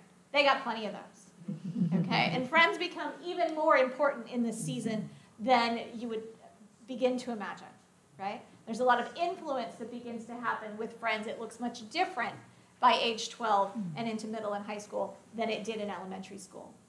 But as the adults, whether we are their primary caregiver or we are the adult in the room with them at school on a regular basis, we've got to understand that what they need from us has less to do with instruction and much more to do with co regulation. They need us to walk with them, they need us to listen to their questions and guide them well. That's what they need from us because they have the ability to process information. They've been doing it for 12 years, right? But they need us to understand who they are and where they're coming from. Every single one of us needs to feel seen, heard, and valued. Think about the last time that you personally felt ignored, misunderstood, or unappreciated. Think about how it felt in here. It changes our behavior. It changes the way we respond in situations. When we don't feel seen, heard, or valued, it changes the way we deal with the person across from us. Always. Always. And so we've got to understand that while our kids need lots of instruction when they're young, it just shifts when they turn into adolescence. If we're still instructional, if we're still coming at them in that way, there's going to be a lot more resistance to it. but if we are asking questions and if we are listening and if we are guiding, right, they still need the co regulation. I need Amberly to co regulate me all the time. I always need it because we were created to be interdependent on one another. But what they need from us in that season looks different. There's another book that we reference a lot called Brainstorm. And it's Dan Siegel's book that picks up where the whole brain child leaves off. And this is 12 to into your 20s. Okay, because that adolescent period goes all the way into our mid to late 20s, depending on if you're male or female. I'll let you decide which one takes a little longer. a few jokes to be said there. Let me ask, uh, this question, because, you know, you started out on a lot of this with um, trauma-based issues that affect the child moving on. And, and the old guys like me and Larry, you know, back in those, sorry, you know, we came obviously from a different time, growing up a lot less stimuli, and I can see the, the trauma part being a lot more focused on what you hit on, um, you know, the family life and on and on. So a lot of, I guess, where does a lot of the issues we're having with kids in school now if it's not a trauma-based, where does the, the stimuli and where they're getting everything else that's, at these ages, you know, it's impacting their mind. Um, You know, they're learning a lot of things off of the phone that may be incorrect, and, and maybe it's moving that mind, wiring it a different direction than, uh, they're not using what the things that we want them to use. You get where I'm going? Just Yeah, I don't know if I'm gonna answer your question exactly, Reese, so just let me know. I mean, I'm gonna do my best, um, but I'm not, I'm not sure exactly what it is, but I'll, I'll tell you what I think. Because when I did a training at a church last week, I had a similar question from somebody. And, um, what I think the, the whole point of TBRI and what we're explaining is that it's very relation, relational based. And I think one of the reasons why we had so much trouble because of COVID, we blamed a lot on COVID, is because there wasn't a lot of relational things going on. We weren't even seeing people's faces, which our brain learns a lot from seeing somebody's face. So we can identify what we know for sure in Highlands County. What I can tell you, and I can promise you in Highlands County from working in the classroom, is we have a huge amount of kids that come from trauma and stress, that come from situations that are totally out of our control as a classroom teacher. But what I can also tell you, even the students that don't come from trauma or stress, there are students that have experienced tough things. And so understanding the brain growth and how much relationships, how important relationships are, is, is, is this. So while we can, I think what you're saying is, we, we, when we, we see a behavior, we can say, well, that child um, was in foster care, or that child's um, dad left, or they have to live with their aunt on Wednesday through Sunday and their other aunt on um, Monday through Wednesday or something. So we want to identify, that's why that kid acts that way, right? That's what we want to do. But that doesn't help us change how he, how that child acts in school with the teacher. Is that what you're saying? Like, you're saying we can identify traumatic things and making and, and really Well, honestly giving an excuse for the, for the behavior in the classroom. But, Yeah, to, to a big degree. I mean, um, I, I heard Reese's question a little different. okay, maybe you did, yeah, because we probably are. Can I give it a shot, Reese? Can, can I give the, the Absolutely. answer to your question a shot really quick? Okay. Um, I heard you challenging a little bit more about, okay, well, if there's not a lot of trauma, what about, what about like phones and media and everything that's coming at our kids so rapid fire? Is that, was that a little bit more of where your question was headed? yeah, because I think they, they're getting, it, it may Yeah. not be relationship with parents, parents anymore, you know, it may, Right. the phone is keeping them occupied, the everything else, Yeah. um, and what they're getting from, from all the stimuli there, Right. which could eventually be a behavior learned that's causing the disruptions in class and the disrespect and, and everything else that we're dealing with. Yeah. So let me go back and just start with TBRI is trust based relational intervention. Okay? If we don't feel safe, right? And felt safety is not the same thing as actual safety. Okay? A kid in this room, I know that I'm safe physically, right? But I might not feel safe if there's somebody in the room that I have a tough relationship with. Okay? So, felt safety, if I don't feel safe, it doesn't matter if I am safe. If I don't feel safe, my behavior will be affected by that. So, if I'm a kid in a classroom, for example, right, and because of my experience, because of my situation, because of my family history, I can I can know like that the building is safe, right? But if I don't feel safe in that space with the people that I'm around, whether it's another student, whether it's the teacher, whether it's administration, if I don't feel safe, I'm going to be here. I'm going to be triggered and I'm going to be on high alert. And it could be something as small as somebody bumping into me that that makes me respond in a way where if I had felt safety and I was regulated, I wouldn't respond that way. Now, to your question about the, everything that's coming at our kids so quickly, of course it impacts the brain. Of course it does. There are studies being done right now. We don't, we don't even know the total impact of COVID. We don't even know the total impact of the volume of messages that are coming at our kids on a regular basis that are impacting the way that they think, that are impacting the way that they process. We know that it's having an impact, but it has yet to be fully quantified.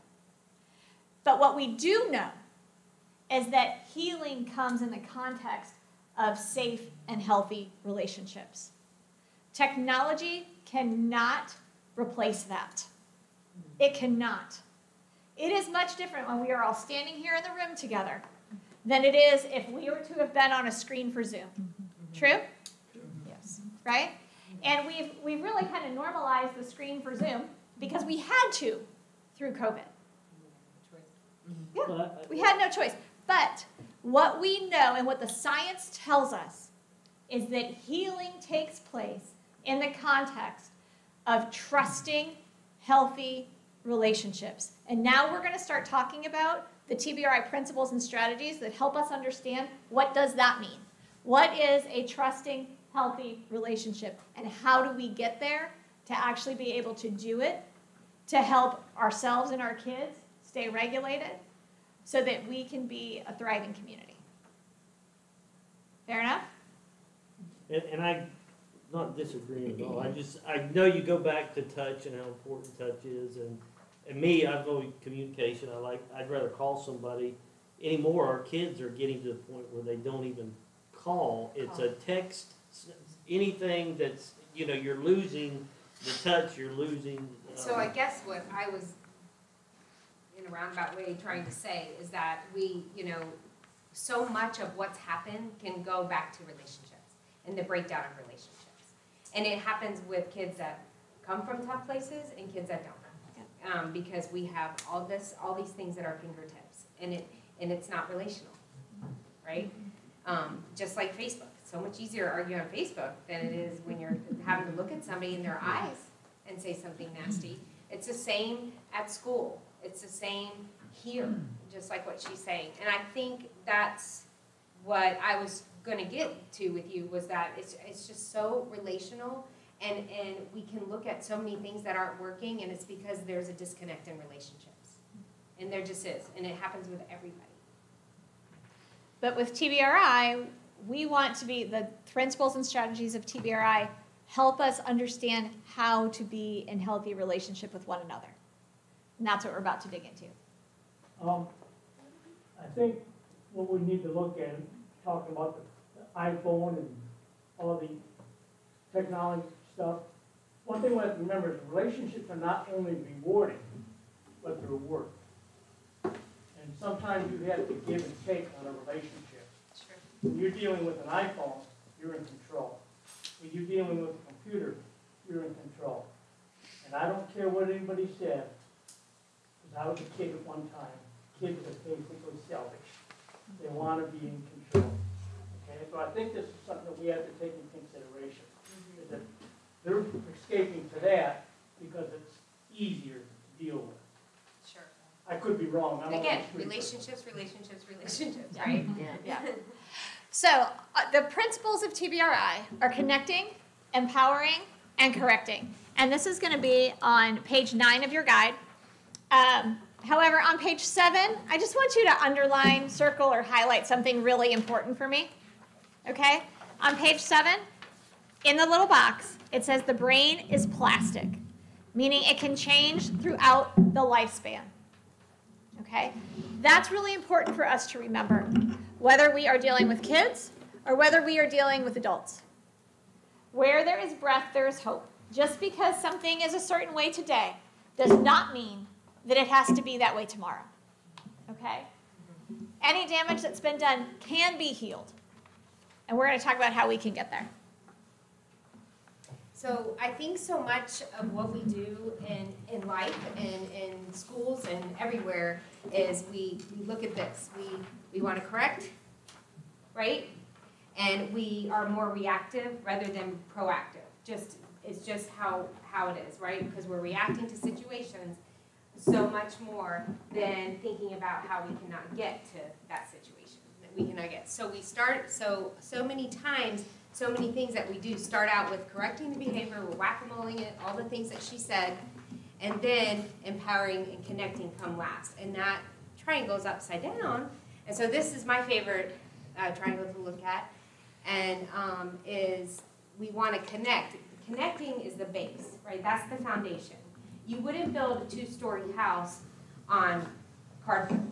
You wouldn't build, we would put blocks on the second story and cardboard on the first story, right? So we have to build a great foundation, and that is where connecting comes. We have to connect with the people that we're working with, the people that we're in community with, and the, and the, the kids and families that we're um, interacting with every day.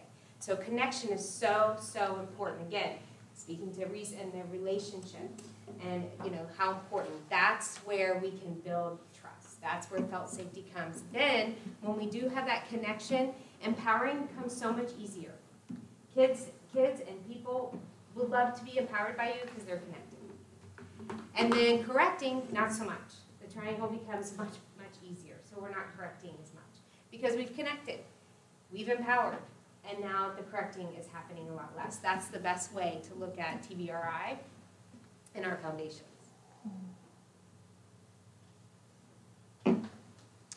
And so we start with mindfulness. Okay, as the adult in the room, you are the one in control. You are the one with the power to share. Okay? And so we start with mindfulness because, again, like we've said many times already, if I'm triggered, right? If I flipped my lid, I can't bring somebody else to a place of regulation so that they're engaged with language, logic, and reason, and they're ready to learn. It just won't happen. So I have to be mindful first. That means I have to understand myself. I have to understand my own triggers. Why do I think the way I do? I have to be mindful of my interactions with other people. I will tell you that eye rolls or huffs or disrespect is a huge trigger for me. A huge trigger for me. And for the longest time, I was a no mom. Okay? The first word out of my mouth because it was I wanted to control the situation. I thought I was doing what was right, what was best, right? But as I started to learn more and I started to understand more, what I realized is that me trying to maintain all this control was harming my relationships. It wasn't helping my relationships. It wasn't creating the safety that I thought I was creating, right? These good boundaries for everybody to know what their lane was. No, instead, it wasn't it wasn't honoring the other person at all. And so my kids, before they even asked a question, they assumed the answer was no, even for the small stuff. And there's no felt safety there. Let me do something with you really quick. Close your eyes, if you would, for me. Are they closed? Okay. No. I said no. Stop. Absolutely not. Don't. Enough. No. No. No more. Be done. No. Yes. Yes. Absolutely. Let's do that. Yes. Yes. Good idea. Yes. Yes. Yes. Open your eyes.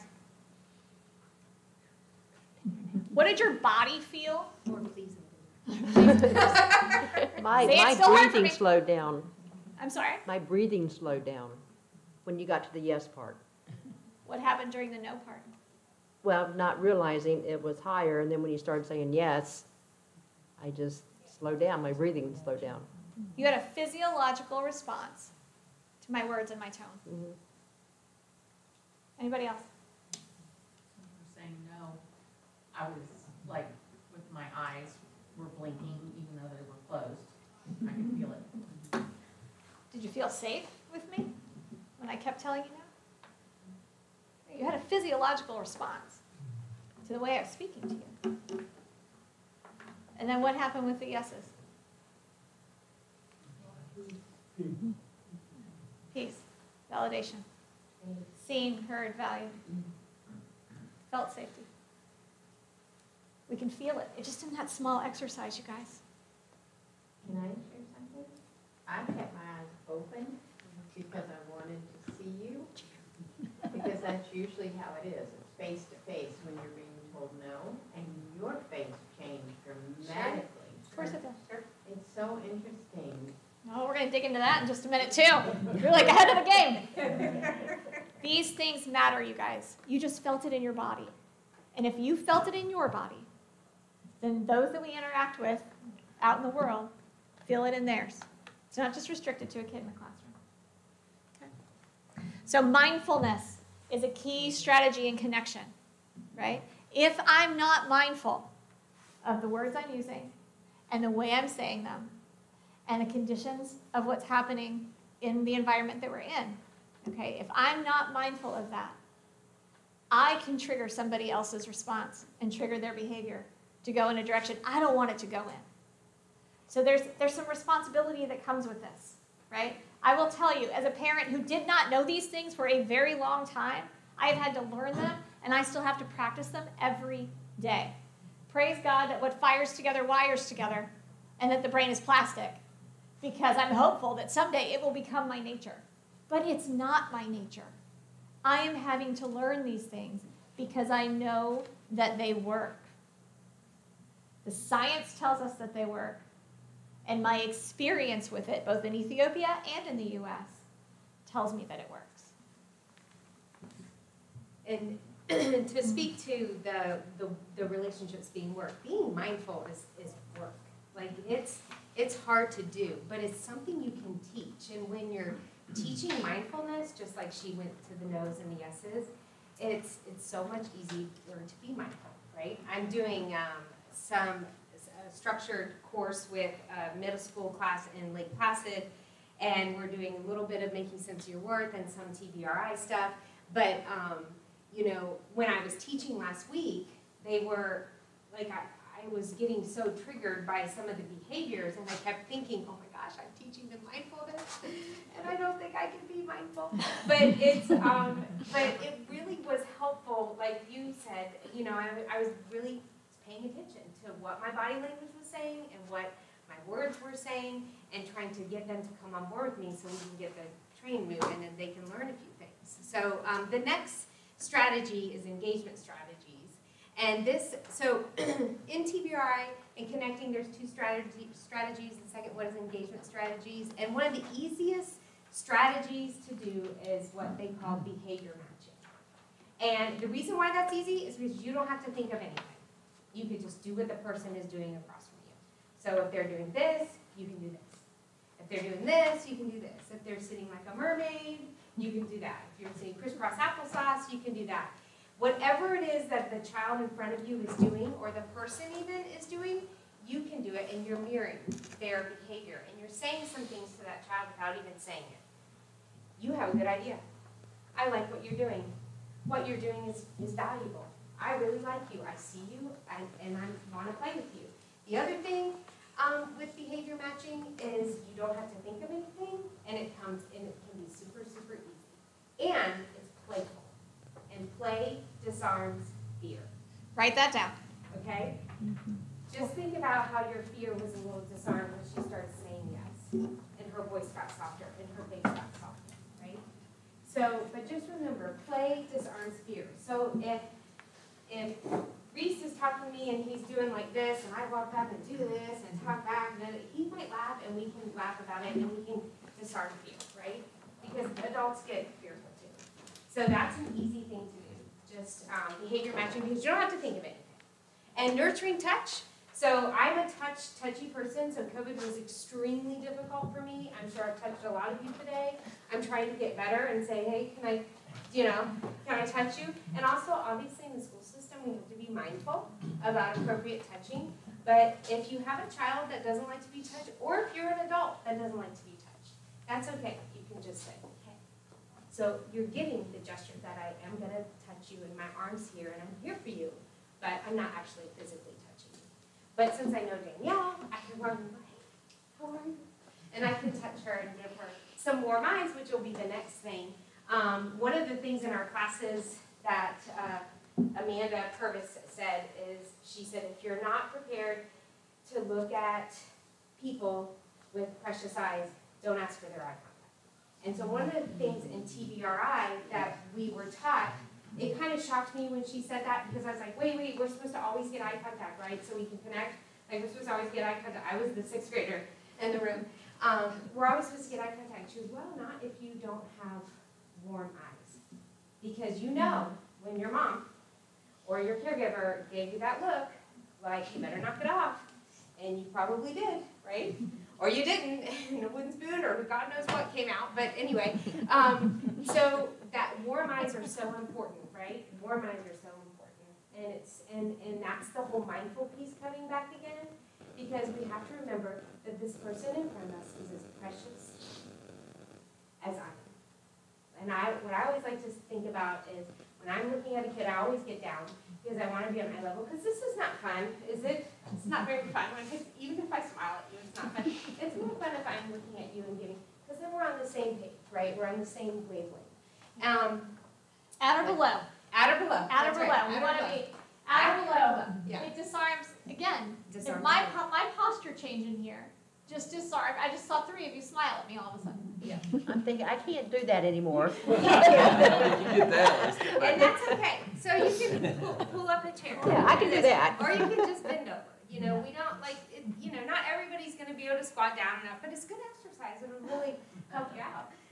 Um, but warm eyes are very important. And one thing that I realized um, a, a while ago when I was dealing with parents, because like I said, this helped me more with my peers than it did um, kids, even though I find it very helpful with kids, is I would look at a parent and think to myself, they love their child as much as I love mine. So I have to, I want to look at them with those same eyes. They may not be doing the things that I did, but they do love their child. So I always try to think that in my head. That helps me have warm eyes. Voice quality, obviously, it's important. You already got the no and the yes and the, but you know, when I'm talking loud and I'm getting aggravated and I want you guys to pay attention and just understand this, that's not so fun. But when I'm calm, that helps me stay regulated too. So voice quality, like cadence, whether you're talking fast, if you're talking slower, softer, louder, all of these things, if we can be mindful about and these in this connecting principle strat and strategies, um, help us uh, disarm fear and help kids stay regulated. It's just like Danielle said, when her voice got loud, her eyes were blinking. And so she probably wasn't even hearing. You know, your amygdala is starting to get engaged. You're not even really hearing what the person is saying, but you feel stress from the voice. And then always, of course, we want to be playful. Always be playful because that disarms fear. I was just gonna say, why do we play? It disarms fear. Kids learn through play. Kids learn through play. I'm gonna say it one more time. Kids learn through play. Play is one of the most powerful tools that we have, and I think we underutilize it all the time. And I will tell you, I am learning to play. It does not come naturally for me. It is not my go-to. I need Amberly in my life because she is really good at it. You're good at structure. But TBRI is a balance of structure and nurture. It is a balance of structure and nurture. There is no room for bad behavior. There's no room for disrespect. Okay? That's the structure side of it.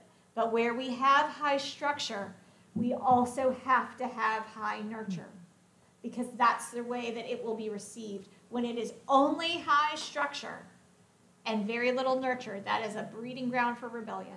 And that is never going to work. It's never going to get us the outcomes that we want. take place. Connection doesn't take place. That's right. So, how do we build connection? What does it look like to have healthy attachment? Okay, this is the fun part, right? So, the attachment cycle, you, you're born with the ability to attach, but you learn it your first year of life. So that's what, when we were talking about earlier, the caregiver in the room is the regulator. So what happens when you're a baby? When the baby cries, you pick it up. The baby cries, you pick it up. The baby cries, you pick it up. And so what happens when the baby cries? What are we doing? We're picking up, we're looking at the baby, we're talking to the baby soft, right?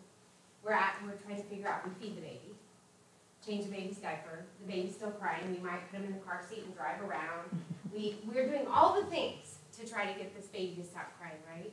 We're regulating that baby. We're letting that baby know, we see you, we hear you. And so then that baby knows, from the, from within a, the first week of life, oh wow, my voice matters. I, ah, and somebody found this person, his voice is soft, I can't focus, but I hear this soft voice, you know? We know that babies respond to soft voices right away, even when they can't see. So, um, they, that is something that a child learns the first year of life. They learn seen, heard, and valued when their needs are met and they're comfortable. And we're detectives, like we're, and I always say, um, in some of the trainings that I think, and it goes on throughout life, like I feel like moms and teachers should, should be hired by FBI and things like that, because we're amazing detectives, we're always trying to figure it out, right? And the figuring out of why this baby or this child is screaming at me doesn't stop. It doesn't stop, we might not be able to pick the baby up and cry, I mean, hold them and care for them when they're twelve, but we can look them in the eye and we can, we can still be detectives and we have to be. Yeah, Yeah, and there's a lot going on inside the body here, you guys. So when a baby cries, they're in distress, right? Uh, now, when it's a baby, we don't know what it is. Like you were just saying, we have to be detectives. Um, are they wet? Are they hungry? Are they tired? Are they cold? What is it? We have to be their external regulator. We have to meet their need because they can't do it for themselves. So they cry because they're in distress. The sympathetic nervous system kicks in, right? That's where like they're feeling all the feels, right? The excitatory neurotransmitters are kicking in. That means adrenaline and cortisol are coursing, coursing, coursing, coursing. But when we pick them up and we meet their need emotionally as well as physically, okay? Because both are required there.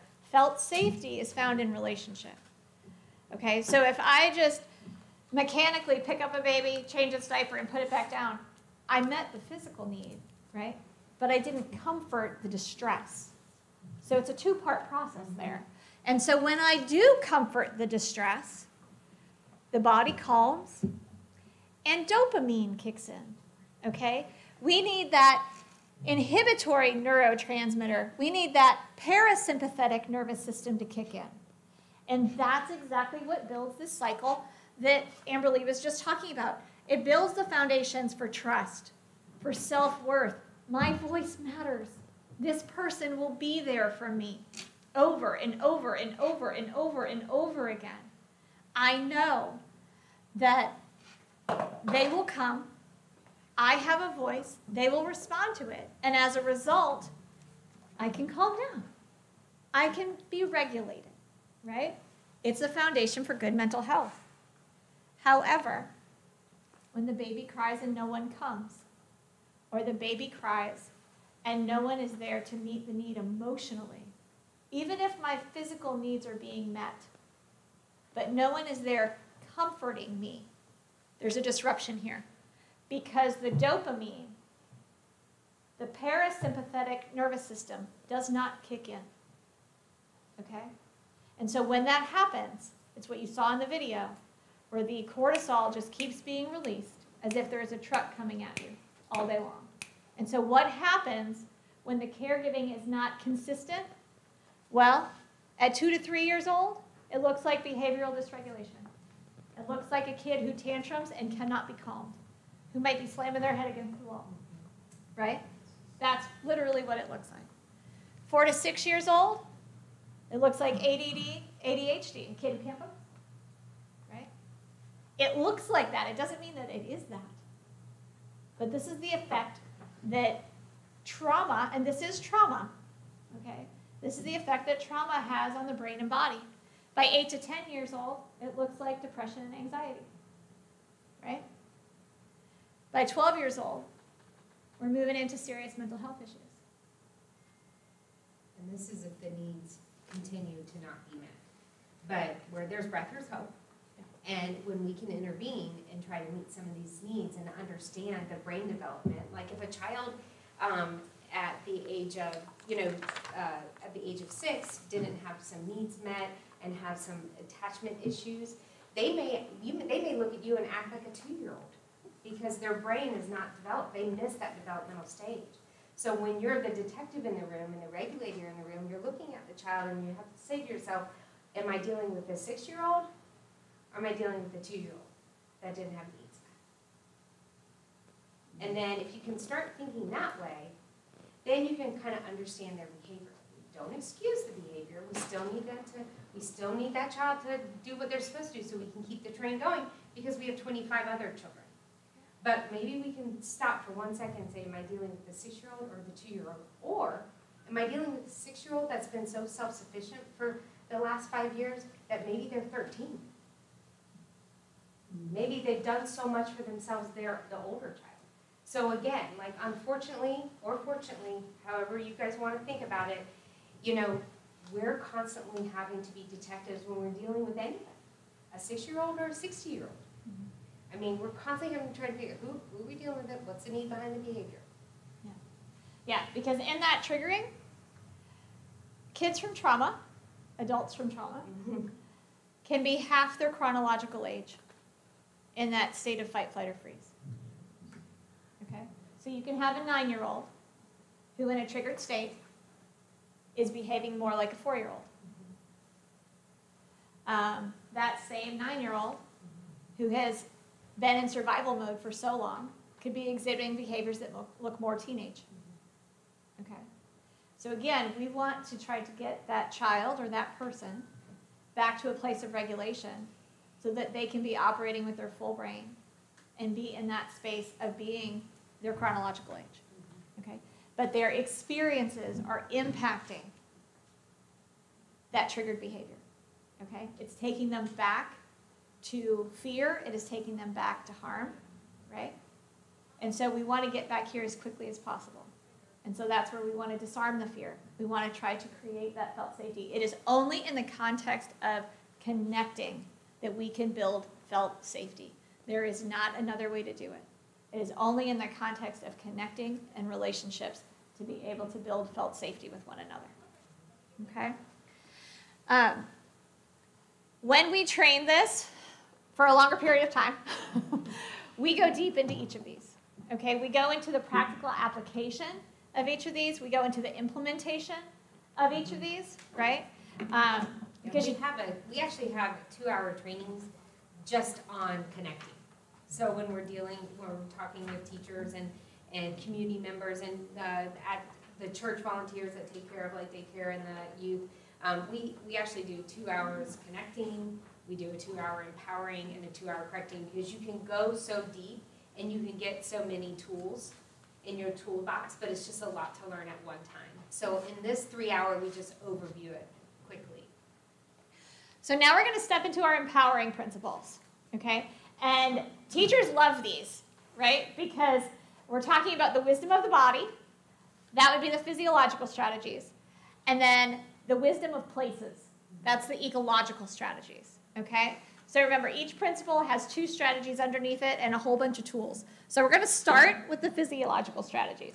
Okay, so this is kind of simple, um, and this is something easy that we can do. This is what we would call low-hanging fruit, right? It's Um, simple, but it's like huge. Yeah, it's so simple to do, but it makes a big difference. So one of the things that we always make sure there's water bottles and some snacks and things is so you're hydrated and your blood sugar's even and you're okay as we're training this. Because if you're thirsty at all, you've lost ten percent of your brain function.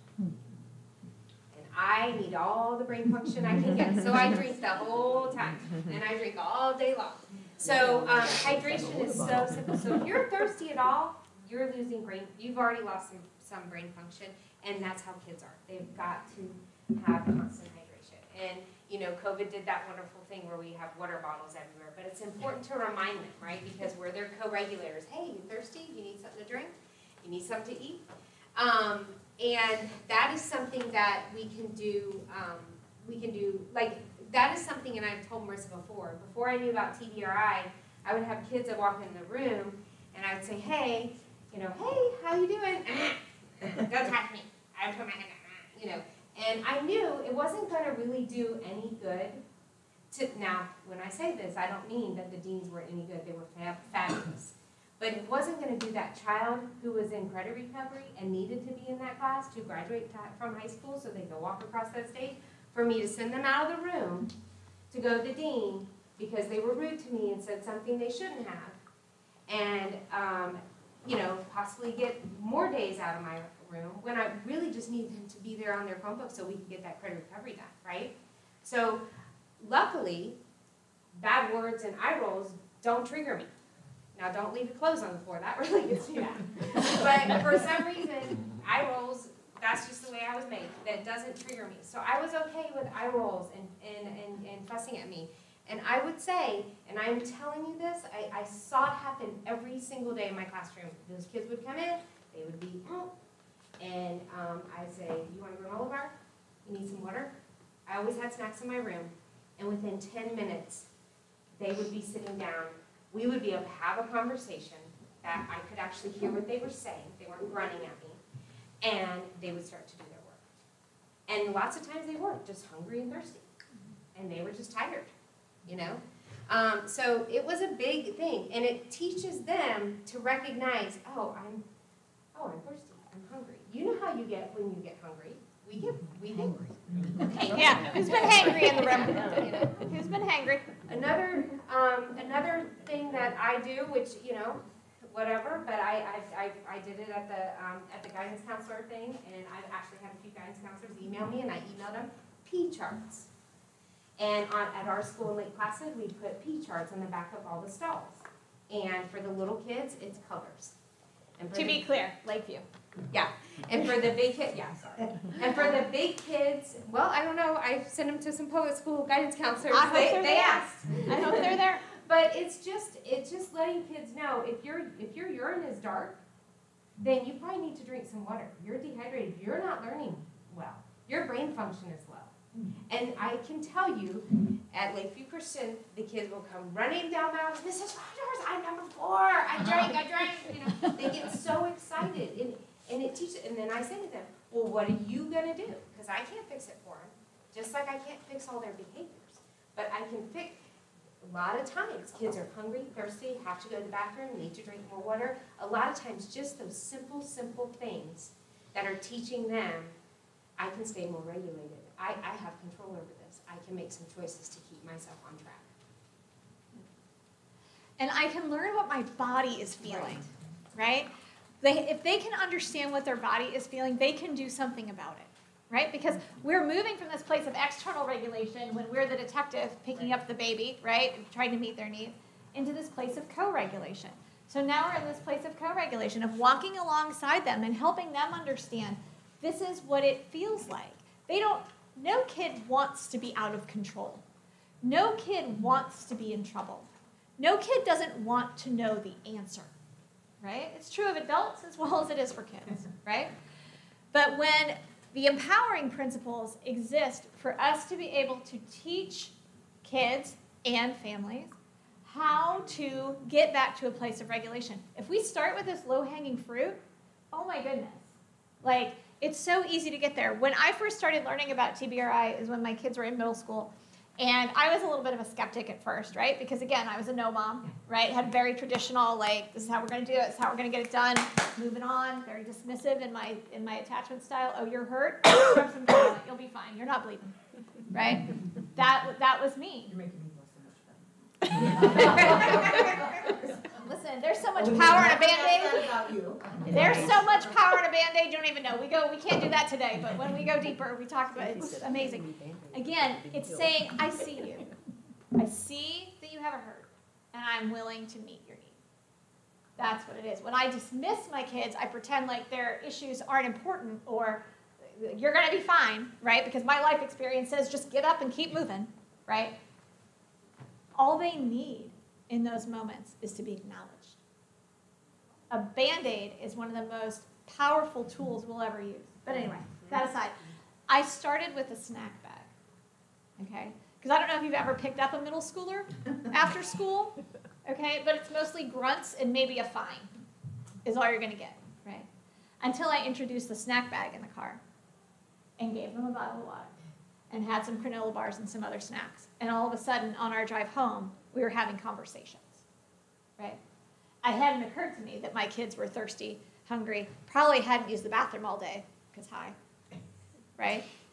And so they just needed some of that physiological change. They needed their, they needed their physiological needs met, and then they could engage with me, right? But there also, we talked before about sensory interruption, right? Sensory processing issues.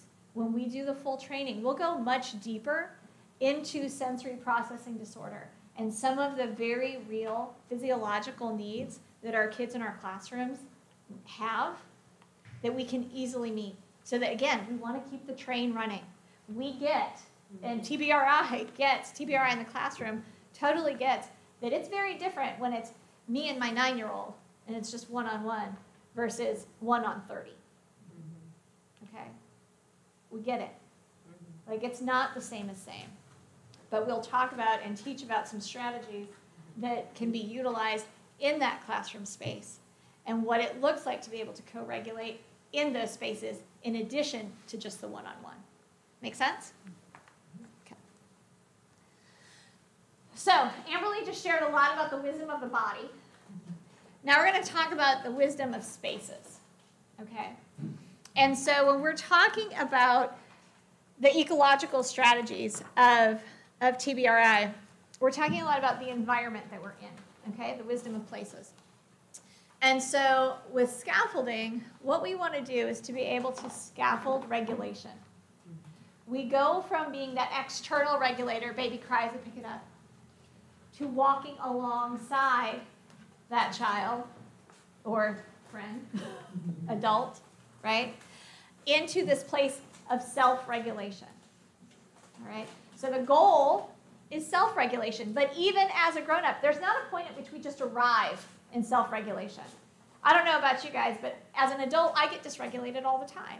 And I need the people around me to help me get back to a place of regulation so I can be fully engaged, right? Whether that's my husband or my colleague or another one of my best friends, right? We need that help to stay here or to get back to here.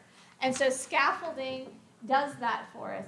Additionally, with scaffolding, is we need to adjust our bar sometimes okay? Because if the bar is set so high for me that I can never reach it, what do I stop doing? Trying. Trying. I stop trying. I stop trying. So sometimes we have to adjust the bar. Amberly was talking about the kids that walk in, that walked into her classroom, right? So if you had, you know, a, another kid mm-hmm. who, you know, is pretty typical developing and like moving right along in their education and that sort of thing. We can't expect every child that or every person that walks into the room to be in the same exact place. Because there are some kids or teachers or parents who are walking into our spaces who did not have the same day that we had, who are not walking in with the same circumstances, right? And so we've got to be mindful of that. And sometimes we've got to adjust that bar a little bit. And it doesn't mean that our expectations don't stay high. But in the scaffolding process, sometimes we've got to lower the bar so somebody that can grab it, and then we lift it up. And they grab it, and then we lift it up. Because we want to get them here, right? But it isn't, it, the expectations cannot always be exactly the same for every person that we're serving. It's not going to work. It's just not. So scaffolding is really important. Scaffolding for self-regulation and scaffolding for setting the bar. In addition to that, in the wisdom of the places, we've all seen the videos of the teachers that stand outside the classroom, high-fiving, having secret handshakes with each kid as they walk in, right? Those are awesome. Those are awesome. And those are something that we would call a daily ritual, okay? A daily ritual is a way that we interact with somebody that builds relationship, that builds felt safety. So again, creating those spaces to feel seen, heard, and valued. It can be as simple as standing outside the door and offering a handshake, a, five, a high five, or a fist bump. Acknowledging as kids are coming in, right? Or maybe it's the way that we start the morning, right? Um, maybe there's a certain thing that gets said back and forth. My kids each have a stam handshake with their dad right? That's something that they share with him that's very personal, that builds relationship, and every time they do it, there's, there's laughter and connection being built, right? So these simple daily rituals that we can build in, it can be the way we send kids out of the classroom, right? But it's something that they come to expect from us. It's something that the other person comes to expect from us. My family on the phone, I always close the call with, I love you, goodbye Right? I love you, bye. If I don't say, I love you, bye, something has gone off the rails. All right?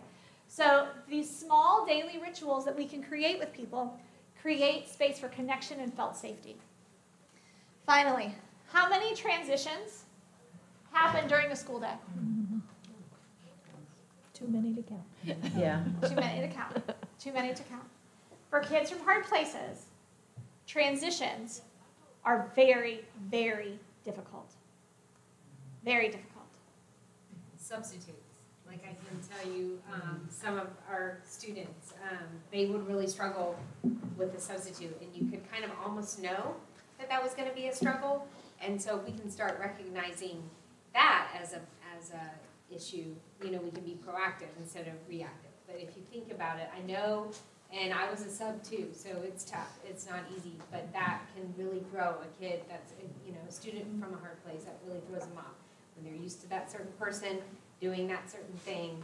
Um, and like she said, uh, as far as the rituals, there were days where I didn't make it to the door before kids started coming in, and the kids would be like, "Oh, I didn't think you were here." Like it, it was, it, it was something they were used to. And I'm talking about juniors and seniors in high school. I'm not talking about um, five and six year olds. So it is really important for kids to just have that consistency. Obviously, you all know that, but um, a substitute can be a very triggering thing, just with not even opening their mouth, or just the fact that they're not their teacher. So even if we think about the transitions between classes, right? Middle schoolers, how many classes are they going to each day? Right? They've got they've got seven they've got seven different periods, and they've got even more hallway time, right? And they're dealing with different people for shorter blocks of time, right? And so you go from an elementary environment where um, you could have one or two teachers if there's co-teaching going on, right? To now seven different people. And so when you think about how challenging transitions are, just even think about your daily life, right? Like when you're going from from one activity and then you have to transition into another activity and and then you layer in those are just daily transitions that we're talking about, right? Getting up, getting ready, getting out the door, going to work, having to go to multiple meetings, right? Going home, settling down out of your day, right? And so it's not different for kids. We, they have the same thing, but they might not have the tools to be able to handle those transitions well. Or maybe I have a lot of felt safety here. Oh, but man, when I got to go to this room, not so much. Right? And so, um, as we're thinking about transitions, we have to understand the impact on, of transitions, especially on our kids from hard places, and how those transitions can be triggers for serious behavior. Okay?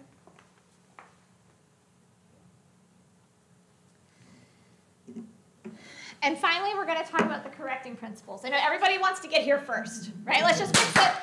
Let's just put those behaviors away, right? But here's the reality. We cannot get to the correcting if we have not built the felt safety first for the connecting and we haven't empowered. We have to have been able to connected and empowered in order for the correcting to work. Because remember what we said before, TBRI is all about this balance of structure and nurture. Where there is a need for high structure, there has to be high nurture. If there is only high structure and not enough nurture, it is authoritarian, it is coming down, it is me standing over you and saying no over and over and over again. That builds no felt safety. It puts you immediately on the defensive and it creates rebellion. It creates disruption, discontent, and rebellion. It doesn't work. If punishment worked, if super high structure worked, our jails would not be full. It doesn't work. We have to approach it differently. I know that we want to fix it. I know we do. I did too. I did too. Every time I said no, every time I controlled, it was not out of ill intent. It was all I knew. And I didn't know another way to have it be healthier or better. I didn't. But now I do. And it doesn't make it easy. I still have to practice this because it is not my nature. It is not what I was raised in. It is not what I understood, but it is what I have learned from the science behind it and from the experience of seeing it implemented and it being effective that it works.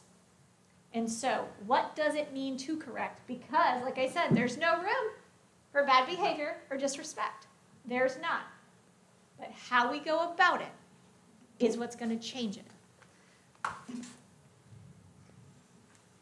Okay, so, um, choices, I, I do wanna just piggyback on, on the corrective behavior. Because toward the end of my time at Sebring High School, one of the things that I did was process ref- referrals and things like that. I talked to Melissa a lot. Um, and we saw, we really did see, and, and again, you know, we don't have all the answers. Um, but, and there's no excuse for bad behavior, but it would be so many times that it was the same kid. It was the same kid, the same referral, the same ISS, the same than OSS because they did something in ISS they shouldn't have done. It was a kid that would be, and I could, I, I always would be able to see the trail. I was fortunate enough where I was sitting, it was a lot, I would input them in the computer. I could see the trail from detention, they showed up late. So then they would get ISS, then they pulled their phone out in ISS, and then they get OSS. It was like this, this, I could see the progression, and it was definitely a kid, almost all the time, that needed to be in school. That I was, um, the senior sponsor, and I wanted that kid to walk across the stage to graduate. So it, it was a lot of times the same repeated thing. And I, I, I think about a handful of those kids sometimes since I've been going through this over the last two years, year. Um, and I just think I wish I had known to ask more questions. Even though I kind of asked a lot of questions anyway, sort of my nature. But why didn't I ask more? What could I? So, so anyway, there's, there's just a lot to look at, and I, and I know, again, this is not an excuse, but if we could understand so we could actually change it, so it isn't that same consequence with that same student. So one of the things would be choices, um, and uh, appropriate, appropriate control. You're still in charge, you're, the parent's still in charge, you're the teacher is still in charge. I think sometimes, what if it would have been if I said to the kid, hey, do you want a granola bar before you start your Chromebook class, or do you, before you get on your Chromebook, or do you want to just get started on your Chromebook? Then it's offering that kid a choice. I'm still going to get him to get on his Chromebook. I'm still going to get him to do that class because I'm going to work my butt off to connect with him. But you know, let him have a choice. Um, do you want an apple or an orange? And if I don't have the apple or orange in my hand, sometimes people, I'm a visual person, I'm a visual learner, so sometimes just seeing that there are two choices. You want apple or orange? Um, you, and with my uh, little guy that I had, do you want to read one book before bed or two? You're going to bed.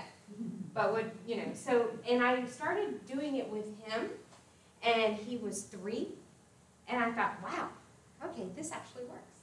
Um, and um, it's, you know, and you just gotta, you just gotta keep trying. Just keep trying. It's that whole investigate. It's whole being the, the regulator in the room. It's the one thinking about, e- thinking, being mindful to decide what does this child need and offer some choices so they can be in control of themselves. Yeah, You're what- still getting the result. I'm sorry. No, I was just gonna ask, why do you guys think choices would work? Yeah. Well, they think they're in control. Yeah, give Right. them- yeah. It gives them voice, right? Empowering. Which builds felt safety. Right. And it makes them accountable for the choice. So when they decide to do something wrong, they deal with the consequence. But if they do something right, and over time they start learning more, more to do more and right so, things. like an appropriate thing, an, an inappropriate thing would be like, you're gonna want, you want to get out of your Chromebook, or you want to go to the office. Like that. It's not a choice. I'm not getting compliance, right? And that's not really a choice. Like, you, you, you want to go to bed or get a spanking? You know, whatever it is you're doing at home, or no, it's it's. I really, it would be. Like, I really want to see you walk across the stage. You're so special. Can do you want? Do you need a few minutes before you open up your phone? How about a water? Whatever, whatever it is you have, a peppermint. I mean, it's something like that. I've connected. I've given them a choice. I'm empowering them a little bit, and and they can get working because I need the train to move. I want y'all want to see them walk across the stage, right? And you, and it starts when they're young, but it doesn't end when they're in high school either. Yeah. Yeah, that's just it. You want we want to keep the train moving, right? And when we end up with ultimatums, and it doesn't mean that, that the rules aren't there, right? The structure's there. We know what right and wrong is. It's how we're getting there, right? Um, Dr. Karyn Purvis, who's the founder of Karyn Purvis Institute, used to say, um, you don't need to bring an elephant gun to a gnat, okay? Um, and again, being a, a no mom, being somebody that was all about control, right? I would go there really quick. Like I would go there really quick with a consequence versus understanding how to keep the train moving, getting what I want still, getting what I need, mm-hmm. but doing it in a way that didn't destroy my relationship with my kid. Right? That didn't make me this authoritarian. I'm still authoritative because I'm the adult. I'm the one in charge. It's my power to share. But how I get there, how I keep the train moving as opposed to knocking it right off the tracks, is the difference. That's the difference. Okay? So let's This say you've offered a choice. This isn't another, I do want to say this too, because I feel like when you're in the classroom and when you are a parent and when you're a volunteer, that you're just getting told another thing to do. This isn't another thing to do, this is just another way to do what you're already doing.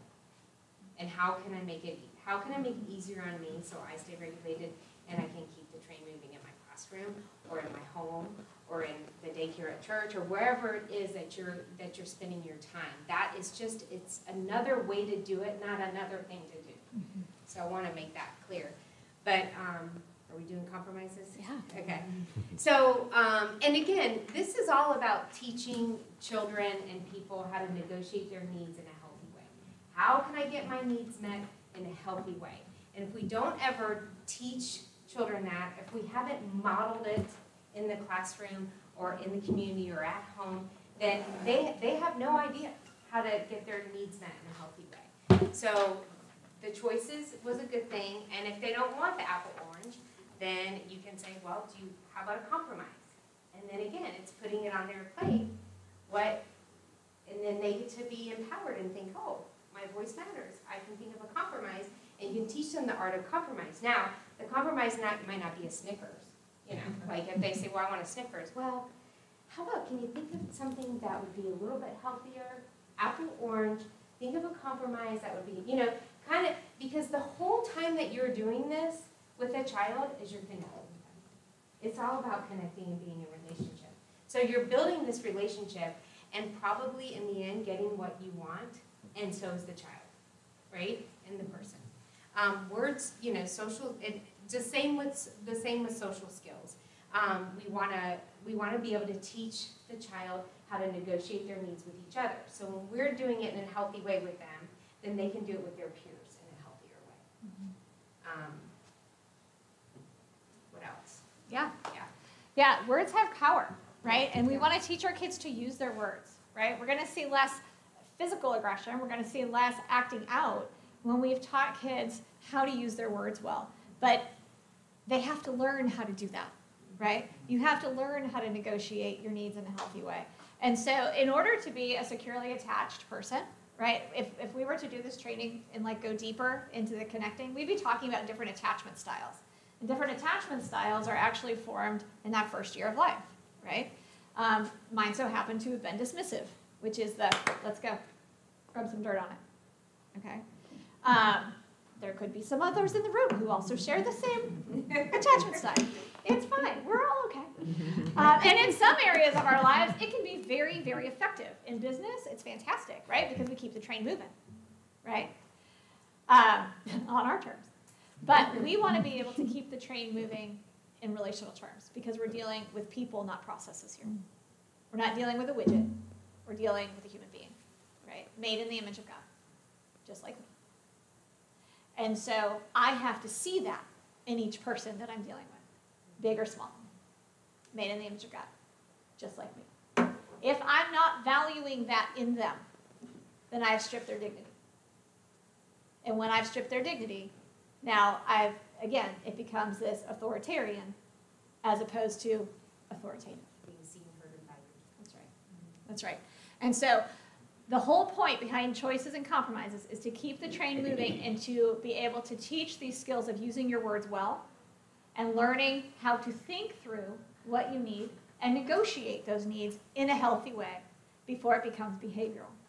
Does that make sense? Okay. Um, being a securely attached adult means that I have the ability to give care, receive care, negotiate my needs in a healthy way, and be comfortable with who I am apart from others. Okay? That is always the goal. That is always the goal. If I can't give care to someone else, if I don't have empathy to share with someone else, that's a problem. If I can't receive care, right, because of whatever my history is, that's a problem. If I lash out instead of using my words to negotiate what my needs are, that's a problem. And if I don't know who I am, if I am lost because of the messages that are coming at me, or because my history tells me something, that is a problem. Okay? So the whole goal with TBRI is to get us to a place where we can do those four things securely and successfully. Um, as the adult in the room, I am the adult in the room. I have the power. It's my power to share, whether I'm um, a parent or a caregiver of little people or big people or the teacher in the room. I'm still in charge. And with that comes responsibility. With that comes responsibility. And when I share my power, okay, it says to the other person that safe people listen to me. My voice matters. Doesn't mean I have to agree with them, but I can listen and I can ask questions and I can walk alongside. Okay? And then I can use some of my other tools to redirect in the way the train needs to keep moving. When we are, so what we were just talking about, choices, compromises, and sharing power, those are what we call proactive strategies. And these are on page 18 um, of your guide, if you're following along in the guide. And there's one more handout that goes along with these proactive strategies. It's in the front pocket of your, um, yep. Oh, you got it? I got it. Um, called life value terms. And they're short little phrases, okay? They're short little phrases that can be used in a really playful way. Because remember, play disarms fear, right? And um, especially with older kids. Whoa, are you asking or telling? Give me that, miss. Whoa, are you asking or telling? You will be shocked at how quickly a kid says, oh, uh, could I please have whatever, right? Uh, let's try that again with respect. I can't wait to answer your question when you try it again with respect. okay? And again, these are ways we're still getting what we want. So I could come back at that kid and say, You're not going to talk to me that way. I'm not going to get the same response when I do that that I do when I come back with some playful engagement and keep the train moving and get and still get what I want. Right? So these are just this is a little little tip sheet that can be really handy. This lives on my refrigerator. Um, um, yeah, asking or telling is a huge one, especially with teenagers. I don't know if you have any. They're a good time. Um, so those are our proactive strategies. Those are our proactive strategies. These are things we're teaching. These are skills that we're like putting into place, right? These kind of come out of empowering into the proactive. But sometimes we've got to respond. And so we're going to look now at our two responsive strategies. And so we start with something we call the ideal response, and it's an acronym, okay? So when I'm dealing with a behavior situation, I want to deal with it immediately. It is not, well, wait till the principal comes in, or wait till dad gets home, okay? I'm dealing with the situation in the moment, and it'd be indirect. Coming in, I'm right here with you, right? Notice I went out or below. Because if I'm coming in at you like this, all of a sudden your body's going to feel different things, right? So I'm coming in out or below. We're right here, me and you, right? I'm going to be efficient. I'm going to be efficient with my words, right? Because again, I don't need to take an elephant gun to a gnat. It's not going to work and it's going to cause collateral damage, right? If I freak out in that moment, it's over, right? Or it's game on, and nobody wants that. nobody wants that. Um, We're gonna be action-based in the way that we respond. What fires together wires together in the brain. So if a kid's just done something wrong, I want them to do what's right. Let's try that again with respect. Are you asking or telling? That's what we call a redo. We want them to practice doing it the right way. Because when they practice doing it the right way, that gets set in their brain, and the next time a situation comes up, it can be recalled. If I'm just punishing what they did because I didn't like it, and they're not doing it the right way, there's no recall. Their recall is, is what's coming at them. What's coming at them is not going to change their behavior. It is just punishing it. It's not changing it. We have to be able to practice doing it the right way. Because what fires together wires together in our brain. That's why it's so important in regulated time to practice all these skills that we've been talking about today. Okay? We have to practice doing it right. So when the rubber meets the road, we have the recall to be able to do it right. That's why, as an adult, I'm still learning how to not be dismissive and how to stop when my kid says they hurt, even if I don't see blood, and acknowledge that it matters. Okay? I have to be mindful enough to do that. Finally, so we've been immediate, we're doing it right then, we're at or below, we're efficient with our words, right? Because if they're triggered, you only got two or three anyway. We're, um, we're action based, we're doing the redo, and here's the big one. And I'll tell you, this is really big in our schools leveled at the behavior and not the child. I said before that we approach this understanding that we are all made in the image of God, which means that I am precious. I was created on purpose for a purpose. Mm-hmm. Okay? When we look at a behavior and then we assault the character of the child, just because what that kid did was bad, the action was not okay. It was not permissible. It does They not. lied, but they're not liars. That's right. You know, like, okay, they made a mistake, but that doesn't mean they're doomed. You know, so that's very important. And it's hard. I know it's hard. I know it's hard when you're a teacher and, and you're in the classroom or when you're dealing with people and you know they're not being truthful and they're not being truthful over and over and over again. But I, you have to kind of, that's where the mindful piece comes, where they, they lied. They weren't telling the truth, but they're not liars. Children become who we tell them they are. Children become who we tell them they are. If a child has been told since the time they entered kindergarten that they're not smart, that they can't do the work, that they're bad, it's who they believe they are.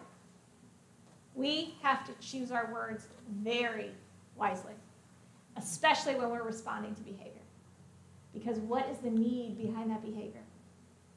The behavior is a symptom. And we want it to change. We want it to go away. That is okay. There is nothing wrong with that. That's acceptable and necessary. But we have to ask the question of what is the need behind that behavior so that we can address it appropriately so we can see those behaviors go away. If we just try, keep trying to get compliance, playing whack-a-mole with those, it's never going to be resolved. And here's the deal. The kids that come up through our school system are not leaving our community. They're not going away. We can't expel it out of our schools. They're going to have kids, and their kids are going to enter the school system. And because it was never healed in that generation, it's going to carry forward. We just saw the science behind it when we started today, right? We know that it's real. So we have to approach it differently because it can be different. So when we respond, we've got to focus on the behavior. The lying's not okay. But if all of a sudden I'm calling you a liar, that's an assault on your character. And so, well, now I'm a liar. No, you lied. That's not okay. Now we're going to tell the truth. We're going to practice doing what's right. We have to be really careful with that. Because especially as kids are coming up through elementary and over into middle and high, they have been given a lot of messages about who they are. And they're getting even more messages, rapid fire, through social media and through other avenues that are coming at them very quickly. Kids want to understand who am I? What is my purpose here? So, as the safe adults in the room, we really have to be wise in the words we give them so that they can understand themselves. We did this already, playful engagement. Not really. I mean, this is the second, this is the, this is the final um, uh, responsive strategy, is the levels of response. Oh, yeah, okay, so we start, so there's four levels of response in TBRI, and it starts out as pl- uh, playful engagement, which is what Marissa was talking about earlier, when the kid, uh, or the person is doing something, obviously you would be doing this more with kids. Um, Would you like to try that again with respect?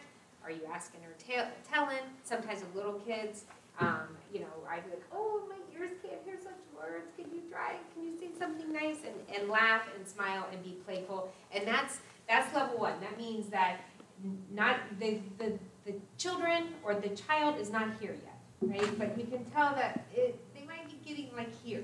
So we might be able to quick get them back, right? So level one is playful. Level two is what they call structured engagement. So that's where you would um, get on the child's level, get more like what she was saying, be more direct. You know that this is going to require a big response. You still want to get back to playfulness because play disarms fear, and that's where we like to um, be. We always want to get back to playfulness, which makes us feel safe too. Um, so we would use maybe more of a structured voice. That's where the choices come in. Um, and then, at, you know, redo. There's a there's a book called Redo Roo. It's about little kangaroo. We did this with our preschoolers and our little kids. But it's really just about them learning that they get a redo. Like how many times I think I feel like as an adult, um, I I wish I could have a redo, right? And so if we teach kids when they're young, and I will say this, when like obviously this isn't always gonna, um, we're not always gonna be able to be mindful and with it and stuff like that, but um, so when you do rupture, um, when you do do the thing that you wish you hadn't have done, when you do say the kid, just sit down for now, like, and then you're like, oh, that is a child I know is from a hard place, and that they didn't, that voice triggered their, and you know, you know all the things, you know all the things, and most of our teachers do know all the things. But when you do do the thing that you wish you hadn't have done, there's nothing more powerful than than going to the child when you feel regulated, when you can have nice eyes, and repair it. Because when you repair something, when you say, hey, I didn't handle that the best way, and I'm really sorry. I want you to feel seen and heard. I care about you. When you look at them and do that, that's where the relationship happens. And I think sometimes we miss that um, that that piece, that repair. So we rupture things, but we always always don't get the option to repair. And, and I would encourage all of us to fight for the repair time because that's where the relationship really happens. Yeah, yeah, without a doubt, especially as a recovering dismissive. Um, I, I can't tell you how many times I've had to go back to my spouse, to Amberly, to uh, my kids, and say, wow, that I didn't handle that the way that I wanted to. I know it didn't, certainly didn't make you feel safe, and I don't feel good about it either. Um, can I have a redo?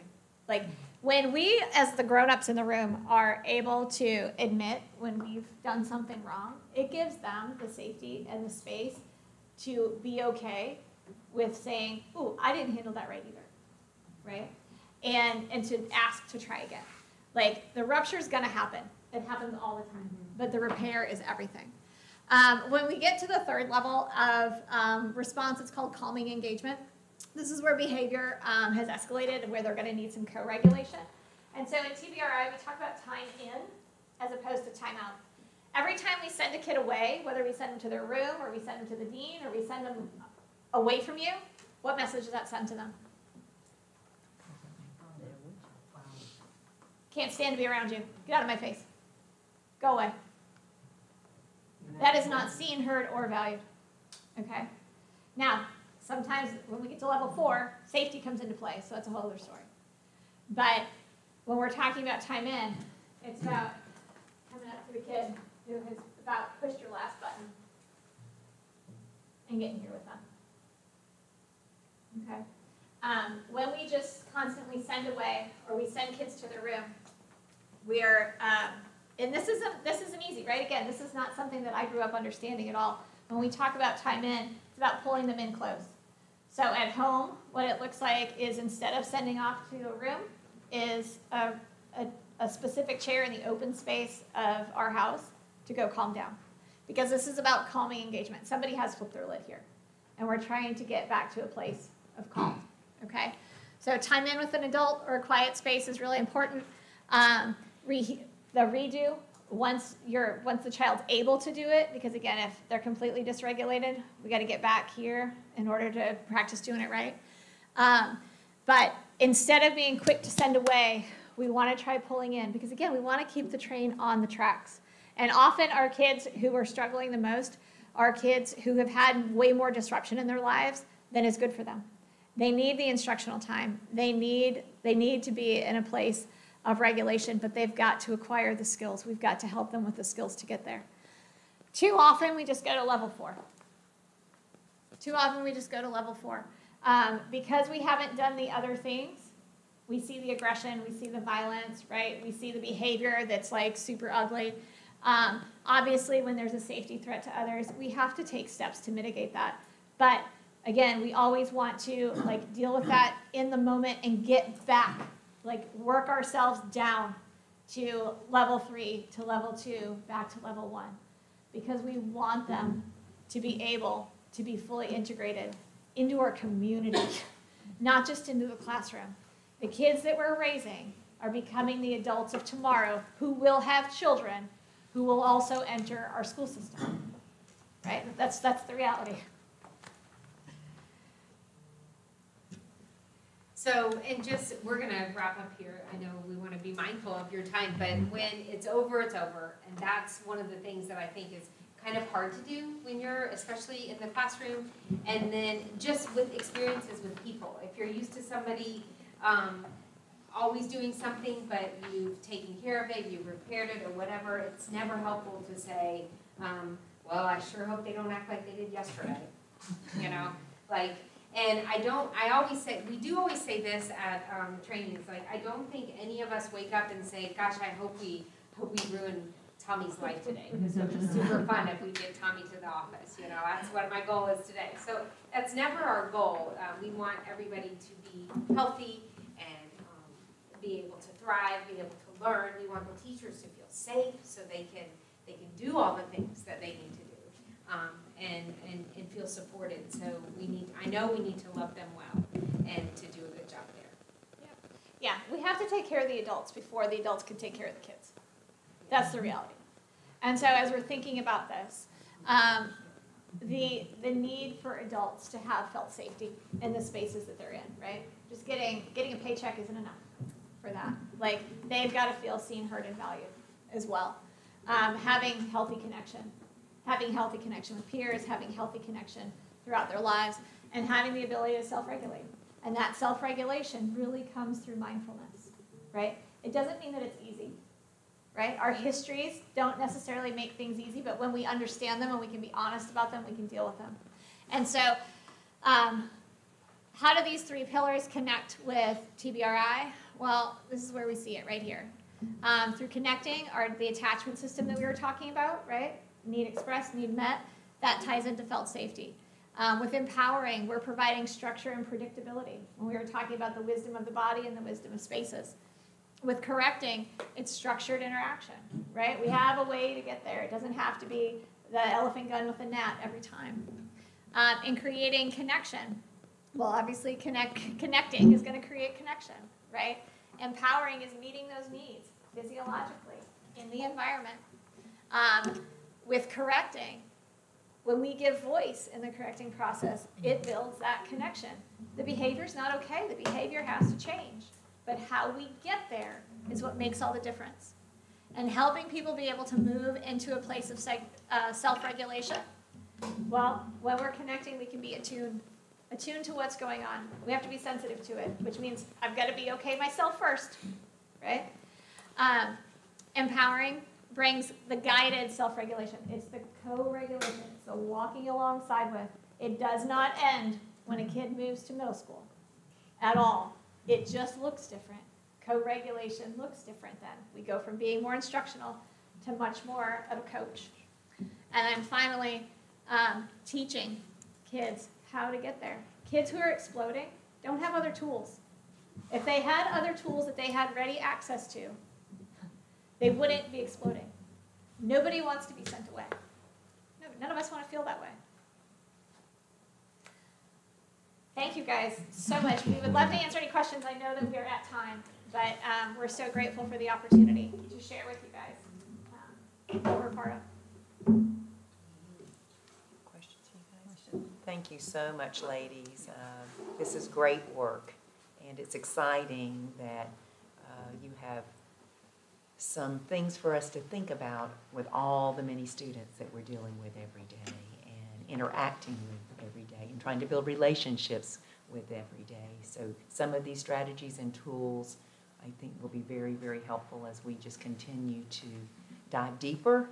I'd love to hear more about the other trainings that you do because this just is the icing on the cake. But I'm sure as we peel that onion and really get deeper and deeper in the work, that we as educators will become more skilled on how to work with the kids because there's so many opportunities for us to make a difference with those kids. And not just kids, for all of us too, right? Mm-hmm. All of us as well. Yeah, so. I think you start with parents. Mm-hmm. Yeah.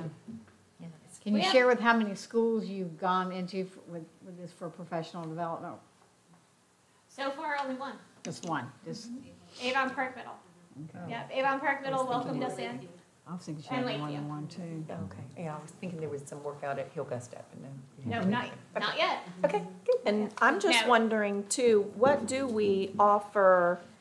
Um, I mean, I know to our, to our new teachers, some of those professional developments and things starting out. Um, but, you know, I kind of see this as like the relational piece to classroom management, you know, so when you're going through school, and maybe things have changed now since I was in college.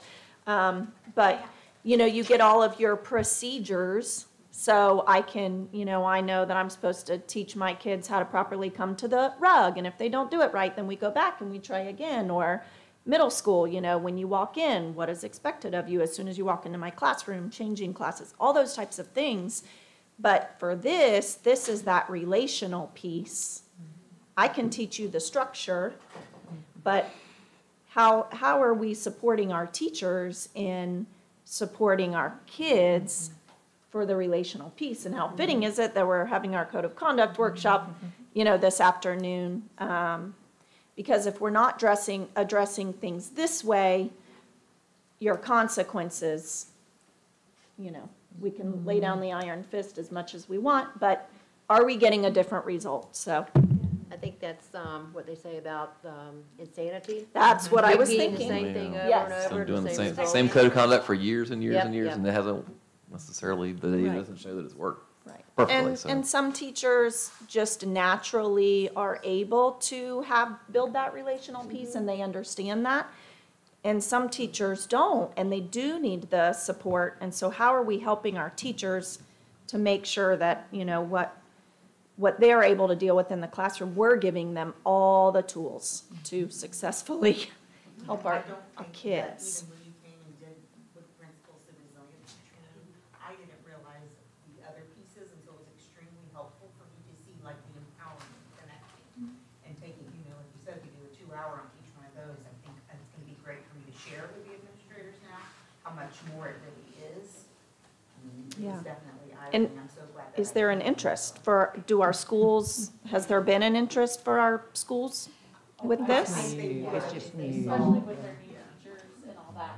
The big thing that I liked about this was it takes us back to that teacher has to develop that connection and relationship. That dean can punish, that principal can punish, that code of conduct can punish, the rules can punish, the expectations can pun- can punish. But that, that teacher still has to go in, back into that classroom and live with that group of individuals.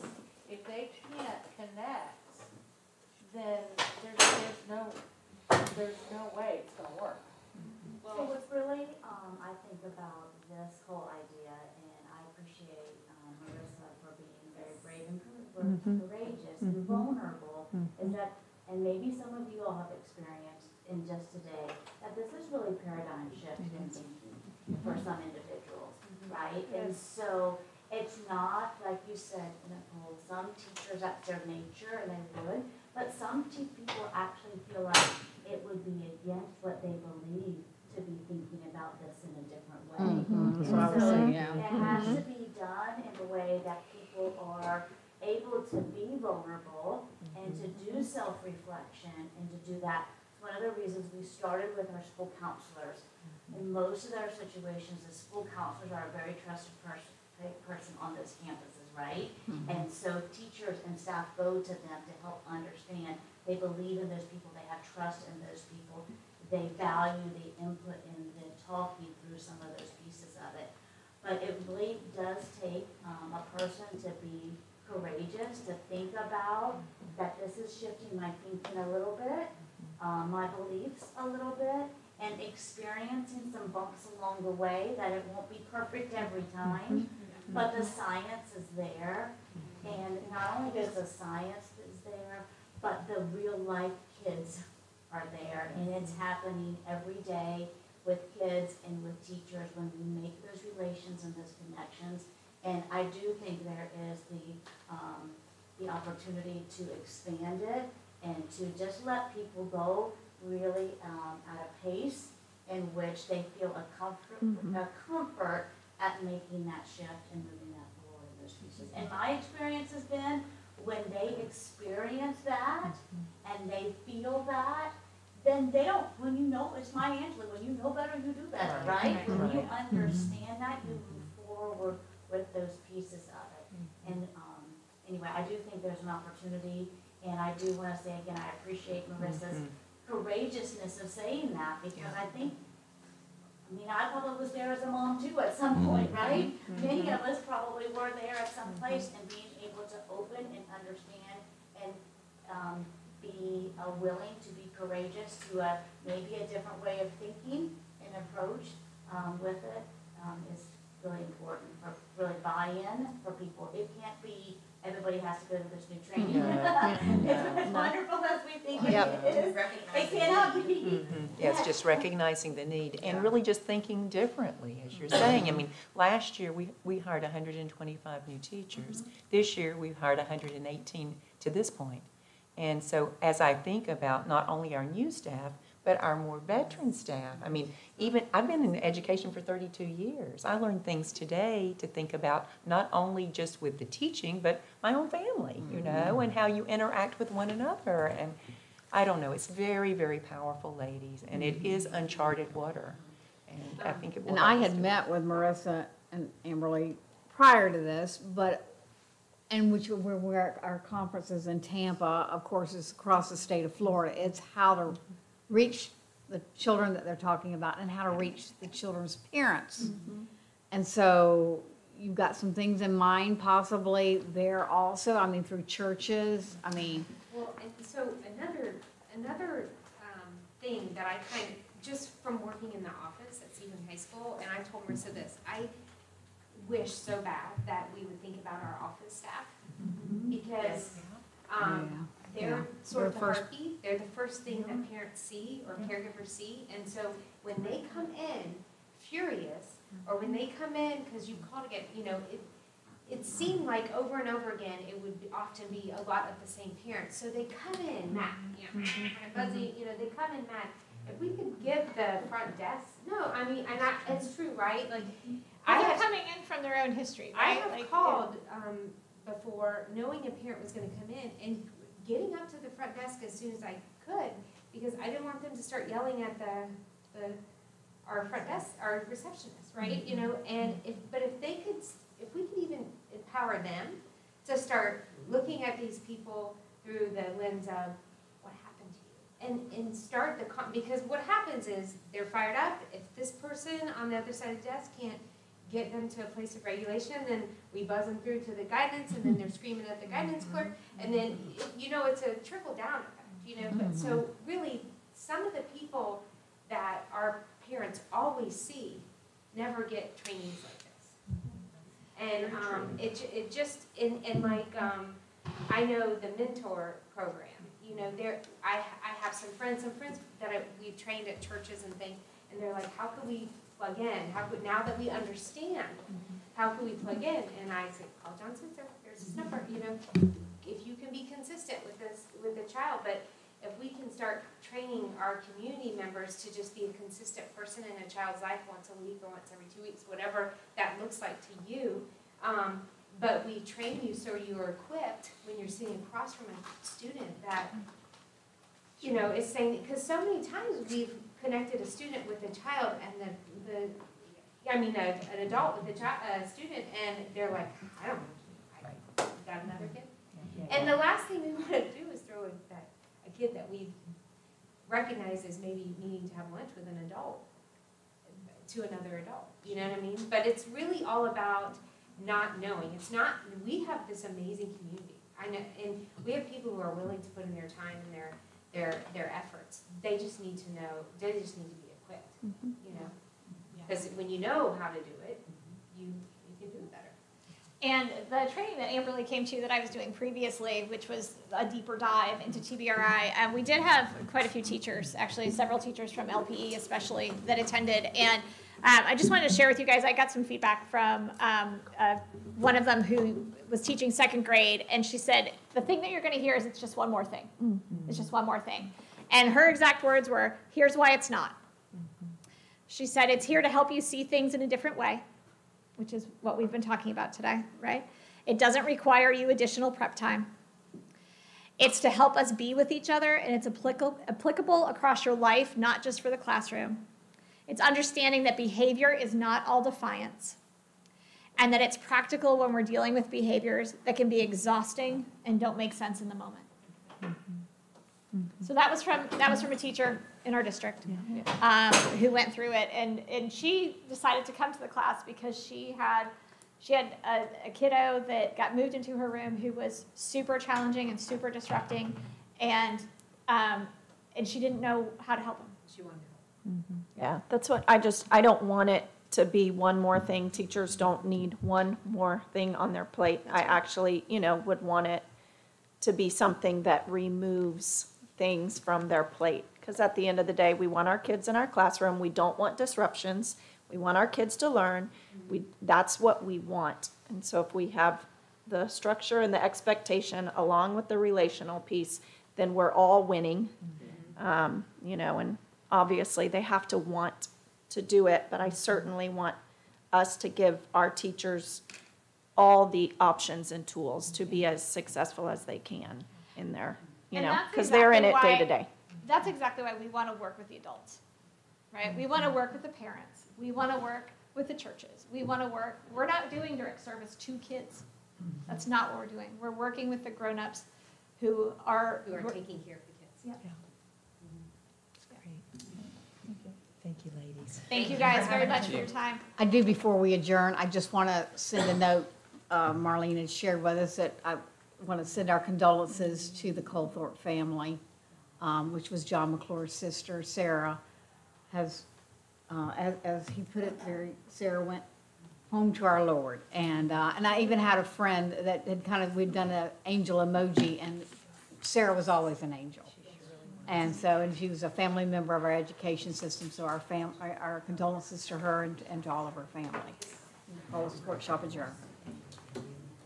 And you guys, Amberly's passing out, if you could just scan the feedback QR code for us, um, that would be great. And Is that you could- different than this one? Yes, ma'am. Okay. Yep, she's passing it out. I'll take the, the baseline one.